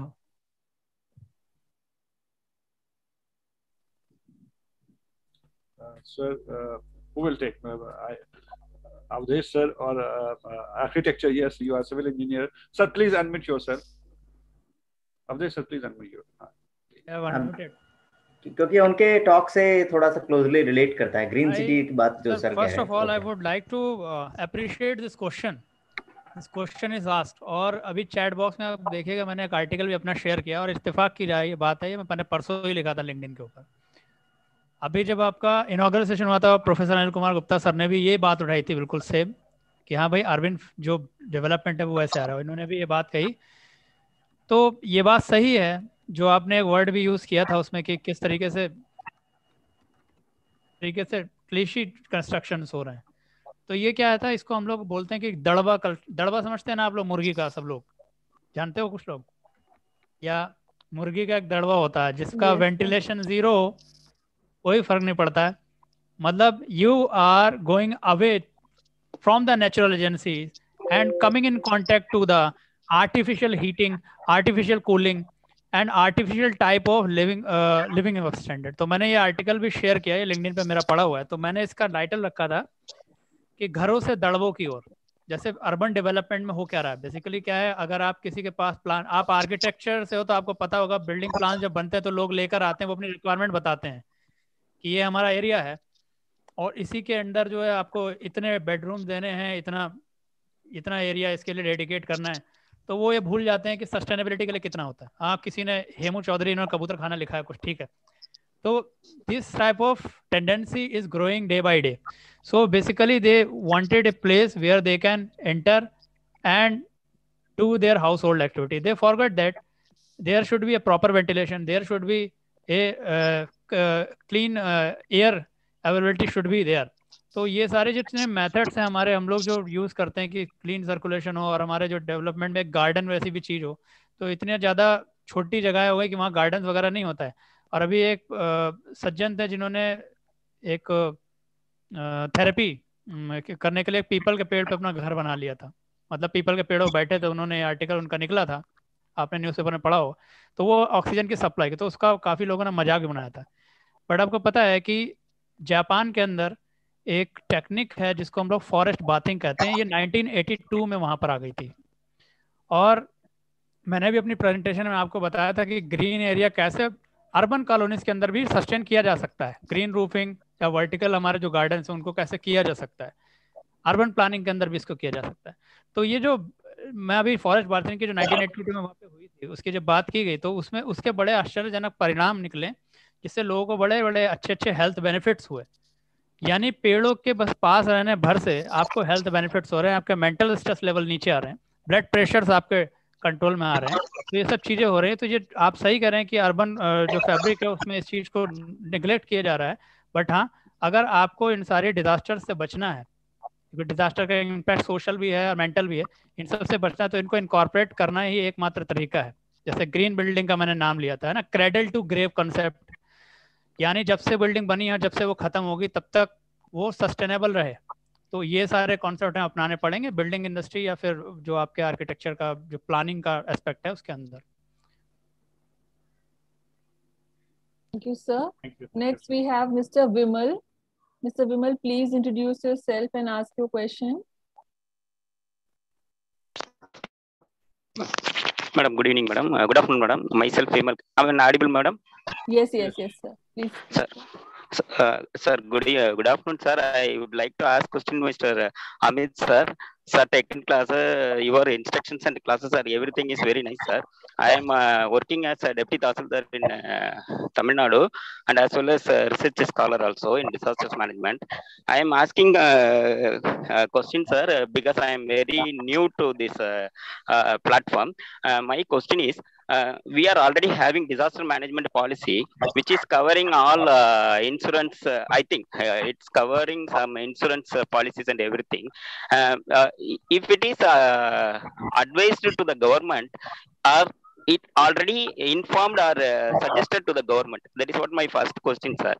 Uh, because I am uh, last time uh, in Gaja cyclone, I am working with the people so Hondal uh, living near the coastal areas. I am working with them. What I have seen that the practically the peoples are uh, they, they are not having uh, enough uh, space to get their daily needs. That is what the major issue. First. Uh, later, I realized that uh, what SAR said that insurance policy, that group policy and individual policy, it may be helpful for them. My question is whether it is suggest uh, suggested to the government earlier or it is in the progress? That is what my question, sir. Sorry for the inconvenience. Thank you, sir. Sir, sir I would like you to elaborate your question more because group insurance option is available since long. Insurance of crops is available since long. It is just a lack of awareness and initiative on the part of individuals uh, that is causing the trouble. For example, we all we all are uh, driving our vehicles on the road and there is a norms. You have to have your vehicle insurance you have to have your personal insurance you have to have your helmet on place you have to have your seat belts at place. But it is the last mile that is ourselves we ourselves are not ready to uh, adopt these uh, available uh, because what government can do like government has asked us to use masks. Government has asked us to keep social distances. Government has asked us to behave in a certain social responsible manner for long. But still if we are not following those principles or practices then only us can be uh, we can blame to ourselves only. Because there can be since um, uh, Ashish sir is present from NIDM but what can policy done? The policy will remain in the books, but it is for us to uh, make it uh, happen, to follow it, to practice it. Right? Maybe you can connect to your uh, local disaster. Uh, there is a sir, uh, yesterday itself, sir said there is a complete structure of uh, NDMA structure is there, and representation is up to Panchayati Raj level uh, there is a person deputed for helping people for disaster management thing every district um, uh, district uh, collector office, DM office is having one person, one uh, person is deployed as the Apada Babu or person or uh, representative person in the government machinery. So maybe you can connect to that person to help you in your area, maybe. Oh, okay, sir. Okay, sir. Thank you, sir. Thank you, sir. Thank you, sir. Thank you so much, sir, for answering the question. And we have one more question from Dr. Bineet, sir. Sir, please. Bineet, sir. Uh, good, good afternoon to all of you. Uh, first of all, I would like to thank the speakers and the organization to organize such wonderful uh, uh workshop, seminar. Uh, the, my basic question is, is there any role of disaster management in defense? Because uh, this time we heard the news about the Navy operation in Mumbai, rescue operation. Was it uh, the operation of the disaster management or was it the part of the defense? Please. Ashish sir, would you I like think Ashish, sir, Ashish sir is the best person to answer this. no, no. See, the thing is, uh, if you could have noticed my presentation, the very basic aspect of what a situation is called disaster is beyond the coping capacity okay हमारे जो coastal situations हैं coastal portions of our, our country if they have been uh, uh, i mean uh, thundered upon uh, uh, because of this cyclone so whose responsibility uh, it is to rescue the people local government first will will they be having kind of boats that is required in this i mean three three tower building uh, size of uh, I mean wave that is coming in the storm surge that is coming in these times of cyclones. No, they don't have. So they go to Coast Guards. Coast Guard is the front uh, that army of, of Navy that protects our coastal areas. But again, that catchy word beyond beyond the coping capacity. This cyclone was of that tune, of that magnitude, that even the coast guards were not in a position with their smaller kinds of boats and ships to protect the people. So in such situations, Navy is called for to protect the people. Similarly, in the mainland, mainland mein aap dekhiye, we go for local administrations because it is their responsibility to protect people from any kinds of disaster. If it is it goes beyond the coping capacity of the local government, then state government, then national government is called for. Then we call NDRF people. Despite the fact that SDRF people are there in the states, we call for NDRF people Then we call for uh, Sena, our army. So it is like that. It is not that it was whether it was a responsibility of the Navy to protect, uh, uh, to go for the disaster management exercise or not. It depends on situation to situation, which force that we are having is in a position to protect the people at that particular time. It is like that. और sir ये जो defence forces जितने भी हैं ये बहुत बड़ा हिस्सा होती हैं डिज़ास्टर रिस्पॉन्स का कि जिसका स्पेशलाइज एरिया है वो उसके बारे में ज़्यादा जानेगा और ज़्यादा एफिशिएंटली रेस्क्यू ऑपरेशंस को वहाँ पर कंडक्ट कर सकता है। तो इसलिए जित एक जैसे आपने अभी नेवी का नाम लिया है तो केवल नेवी ही नहीं जो हमारा और और फोर्सेस जो हैं इवन पुलिस का भी इसमें रोल आता है और जितने भी हमारे ऑर्गेनाइजेशन हाँ, आपने देखा होगा लैंड पैरामिलिट्री फोर्सेस जी जी ऑल पैरामीटर तो इसका सभी का होता है क्योंकि they are just like the hand जैसे हम एनआईडीएम को एक माइंड कह सकते हैं डिजास्टर मैनेजमेंट फ्रेमवर्क का कि वो उसके पास एक डॉक्यूमेंटेशनल एक्सपर्टीज है they did the research and all the uh, uh, support that is needed to the NDM National Disaster Management Authority that is the apex body of disaster management in India under Disaster Management Act 2005 so in the similar manner defense forces or NDRF, including National Disaster Response, can be considered as an arm.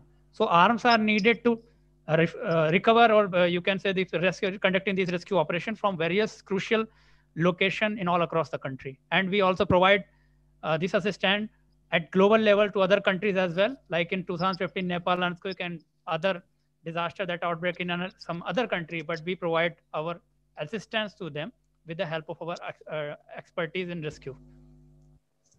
and that is the beauty of the institutional mechanism that we are having in our country.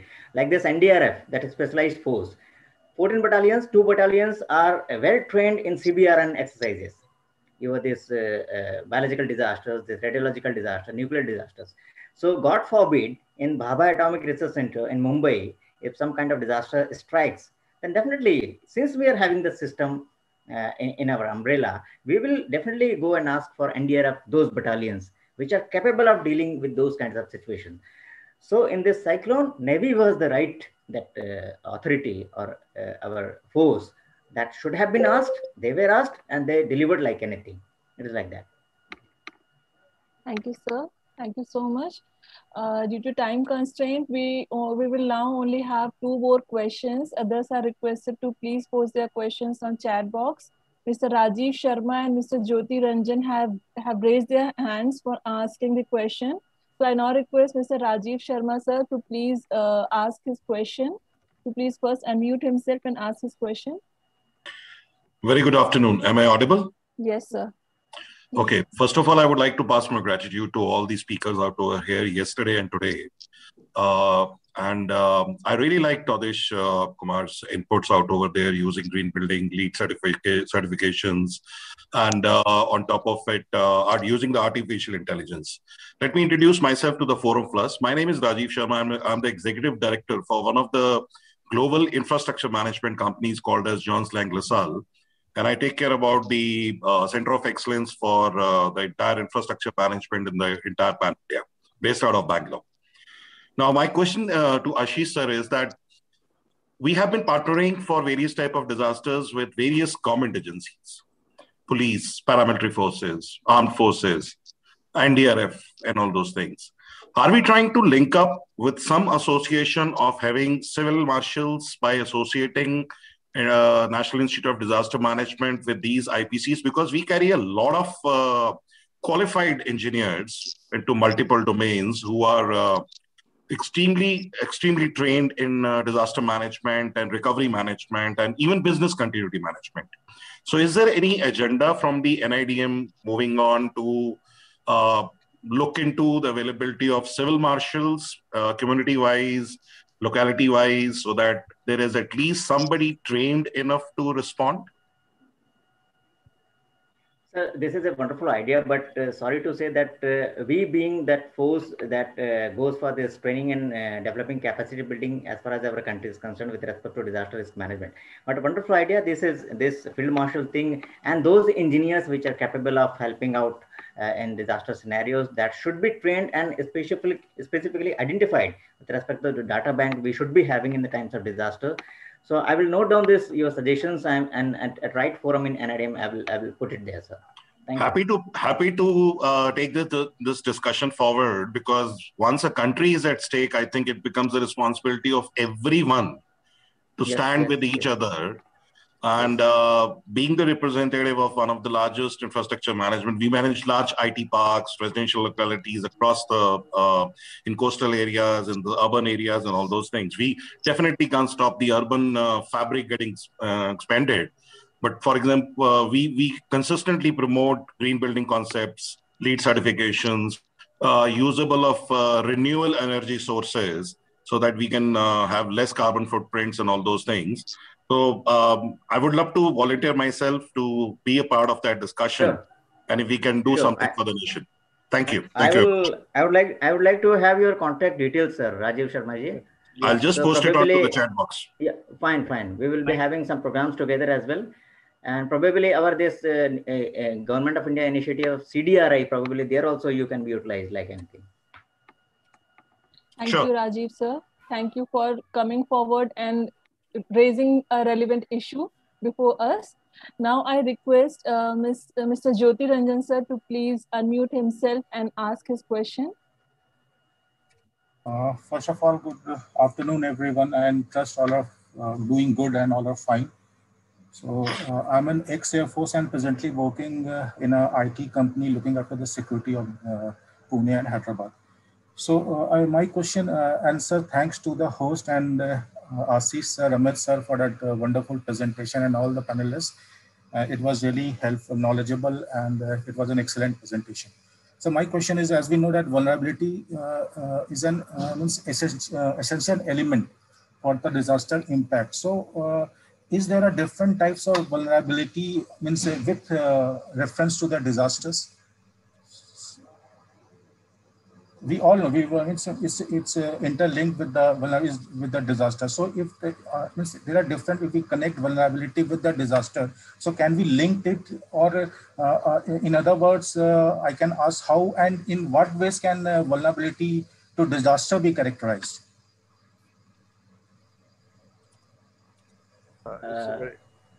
Actually you, you want correlation between vulnerability and disasters?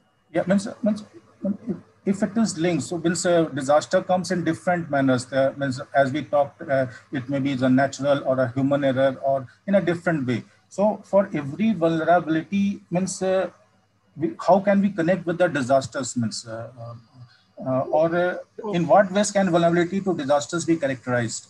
I think you are asking, sir. Uh, sir, I think I think you are asking. Yes, sir. Yes, sir. Please. Other, just a moment. Then, okay, then you, okay, you okay, can sir. put in. Okay, okay. Uh, yesterday, uh, if you could have seen my that presentation, that example of Japan, they're flooded Yes, with uh, flooded with earthquakes like anything. I mean, even the small child knows how to protect himself or herself with respect to earthquake. They are so much knowledgeable with respect to that. The kind of wooden infrastructure they they they, they utilize in their areas that is very very good with respect to the kind of vulnerability they have with respect to earthquake. But in Indian conditions, like in Kosi Belt, where this every year we are finding floods, and that is uh, attacking our, our that region, uh, that Ganga basin. So probably this wooden technology would not be proper with respect to those kinds of uh, societies where uh, floods are more in, uh, more prone into into happening. So one uh, that is social vulnerability you can say, or physical vulnerability you can say of the, of the that geographical area. Another thing is like in mumbai if you see we find slums okay? We find slums everywhere in in any big metro the cities. Uh, don't they want to live in earthquake resistant buildings? They want but they can't because of economic restraints. So that is economic vulnerability with respect to that. So different kinds of vulnerabilities and different kinds of sections of societies they need different kinds of attentions. So disaster is going to strike different sections of the society in different capacity so according, that is why vulnerability is very, very important to understand. So this Sendai framework of disaster risk reduction, Avdesh was mentioning, that is priority number one. First, understand what is your disaster risk. So how will you identify your risk? Risk identification as uh, uh, this uh, important uh, this chapter on vulnerability identification first. The kind of area you're exposed to, sensit sensitivity of the local community with respect to the kind of disasters that might take place in that area, and vulnerability, of course. That is very, very important to understand. Then only the impact of disaster can be understood and accordingly measures can be applied with respect to lessen the impacts of disasters on those particular communities. So very well connected these two issues and rightfully mentioned by you. Thank you. Thank you, sir. Thank you so much, sir. Now moving on. Avdeji wanted to say something. Avdeji? Yes, sir, sir, yes, sir, I think as far I, I, I understand that uh, he, um, I think he wanted to know that vulnerability and disaster relation basically. So uh, when we calculate the risk, so vulnerability is an integral uh, component to the, by which we can access what the risk exists in a particular society. And uh, you know this vulnerability can be divided uh, into uh, part like human, social, physical, economic, and cultural environment. So uh, on the basis of what we are accessing, whether we are accessing the direct losses or indirect losses. So vulnerability is not a single type, it's a combination of many vulnerabilities. Okay. So when this vulnerability combined and access as a whole, so we will get uh, the idea of what risk exists at that particular location, what type of measures we need to uh, take in order to in order to check uh, uh, the hazard not converted into the disaster. Okay. Hazard हर जगह होते हैं hazard हर जगह होते हैं बस मुसीबत तब बनते हैं जब वो डिजास्टर में बदल जाए तो। तो इसको रोकने के लिए हमको जो वल्नरेबिलिटी असेसमेंट्स होते हैं ये सारा करना पड़ता है उसके बाद हमें रिस्क कैलकुलेट होके आएगा उसका। तो हम हजार्ड्स को रोक सकते हैं डिजास्टर बनने thank you sir thank you on uh, elaborating the answer. Uh, moving ahead with the end to end this uh, to end the second day of EFDP. Uh, please allow me to welcome Dr. Raj Lakshmi ma'am uh, to uh, conclude the today's event, today's day of three sessions. through which we have learned a lot. We have uh, uh, we have take a lot of lots of takeaways and insights. May I now request Ms. Shrinkla Sinha to please introduce uh, Dr. Raj Lakshmi ma'am so that she can. I, I think uh, Dr. Anushree, I think I can just start because we are already running short of time. Okay, uh, thank you so much, Dr. Anushree. Uh, just to start with a small quote of Albert Einstein, learn from yesterday, live for today, and hope for tomorrow. I think this was the crux for all the three sessions. The wonderful speakers have spoken so well.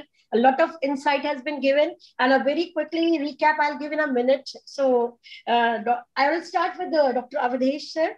Like uh, he basically emphasized on the technology, like uh, uh, efficient planning is needed for keeping a check on this climate change, rainwater harvesting, well plan mapping, concept of survivor bias was discussed, investment or infrastructure was very important in India to be a leader. So Avdesh your examples was really very touching. You have taken such a small, small example of from our daily life. And I really feel great to be an audience for, of your session. Uh, going ahead to Arun sir, Arun sir, um, I think Arun sir is here, Arun sir. It was, you know, uh, uh, uh National Park was the first uh, um, childhood memory for me also. And uh, you have really touched a great session by uh, telling us about the wildlife uh, SOS. Then uh, elephant conservation's uh, detail you have given. Concept of ecocentrism, Wildlife Protection Act 1972 you have discussed very beautifully. Mishandling animals like snake may lead to casualties. It's very important. And you have given all the basic aspect for mitigation, physical, financial, behavior, education, scientific rescue and research. So these are very, very important uh, areas you touched. And I'm very sure that your PPT can use for our kids also, because, you know, one thing uh, I really like the, the video you have shared with us. And last but not least, Dr. Amit Sinha wonderfully explained about the disaster management and financial preparedness. The conference held in Japan was very well discussed by Mr. Sinha. Then uh, his recommendation was very beautiful for the future and with these lines, I want to end my concluding remarks because we are already running short of time. Over to you, Dr. Anushree. Thank you so much, audience. Thank you so much, ma'am. And now with this, we end this day of our uh, training program. We will meet again tomorrow at 10.30 uh, a.m. with same link with again three more speakers on some more relevant issues of disaster management and preparedness and risk reduction. I hope you all have enjoyed the today's session. You, you all have taken so much insights and takeaways uh, from today's session and will apply those in, in our daily life, in our uh, um, uh, in, in the society we live. Thank you so much. It was an honor to be with you all. Thank you. Namaste. Thank you all. Thank you. Bye bye. Thanks, Anushree ma'am. Thank you. Sir.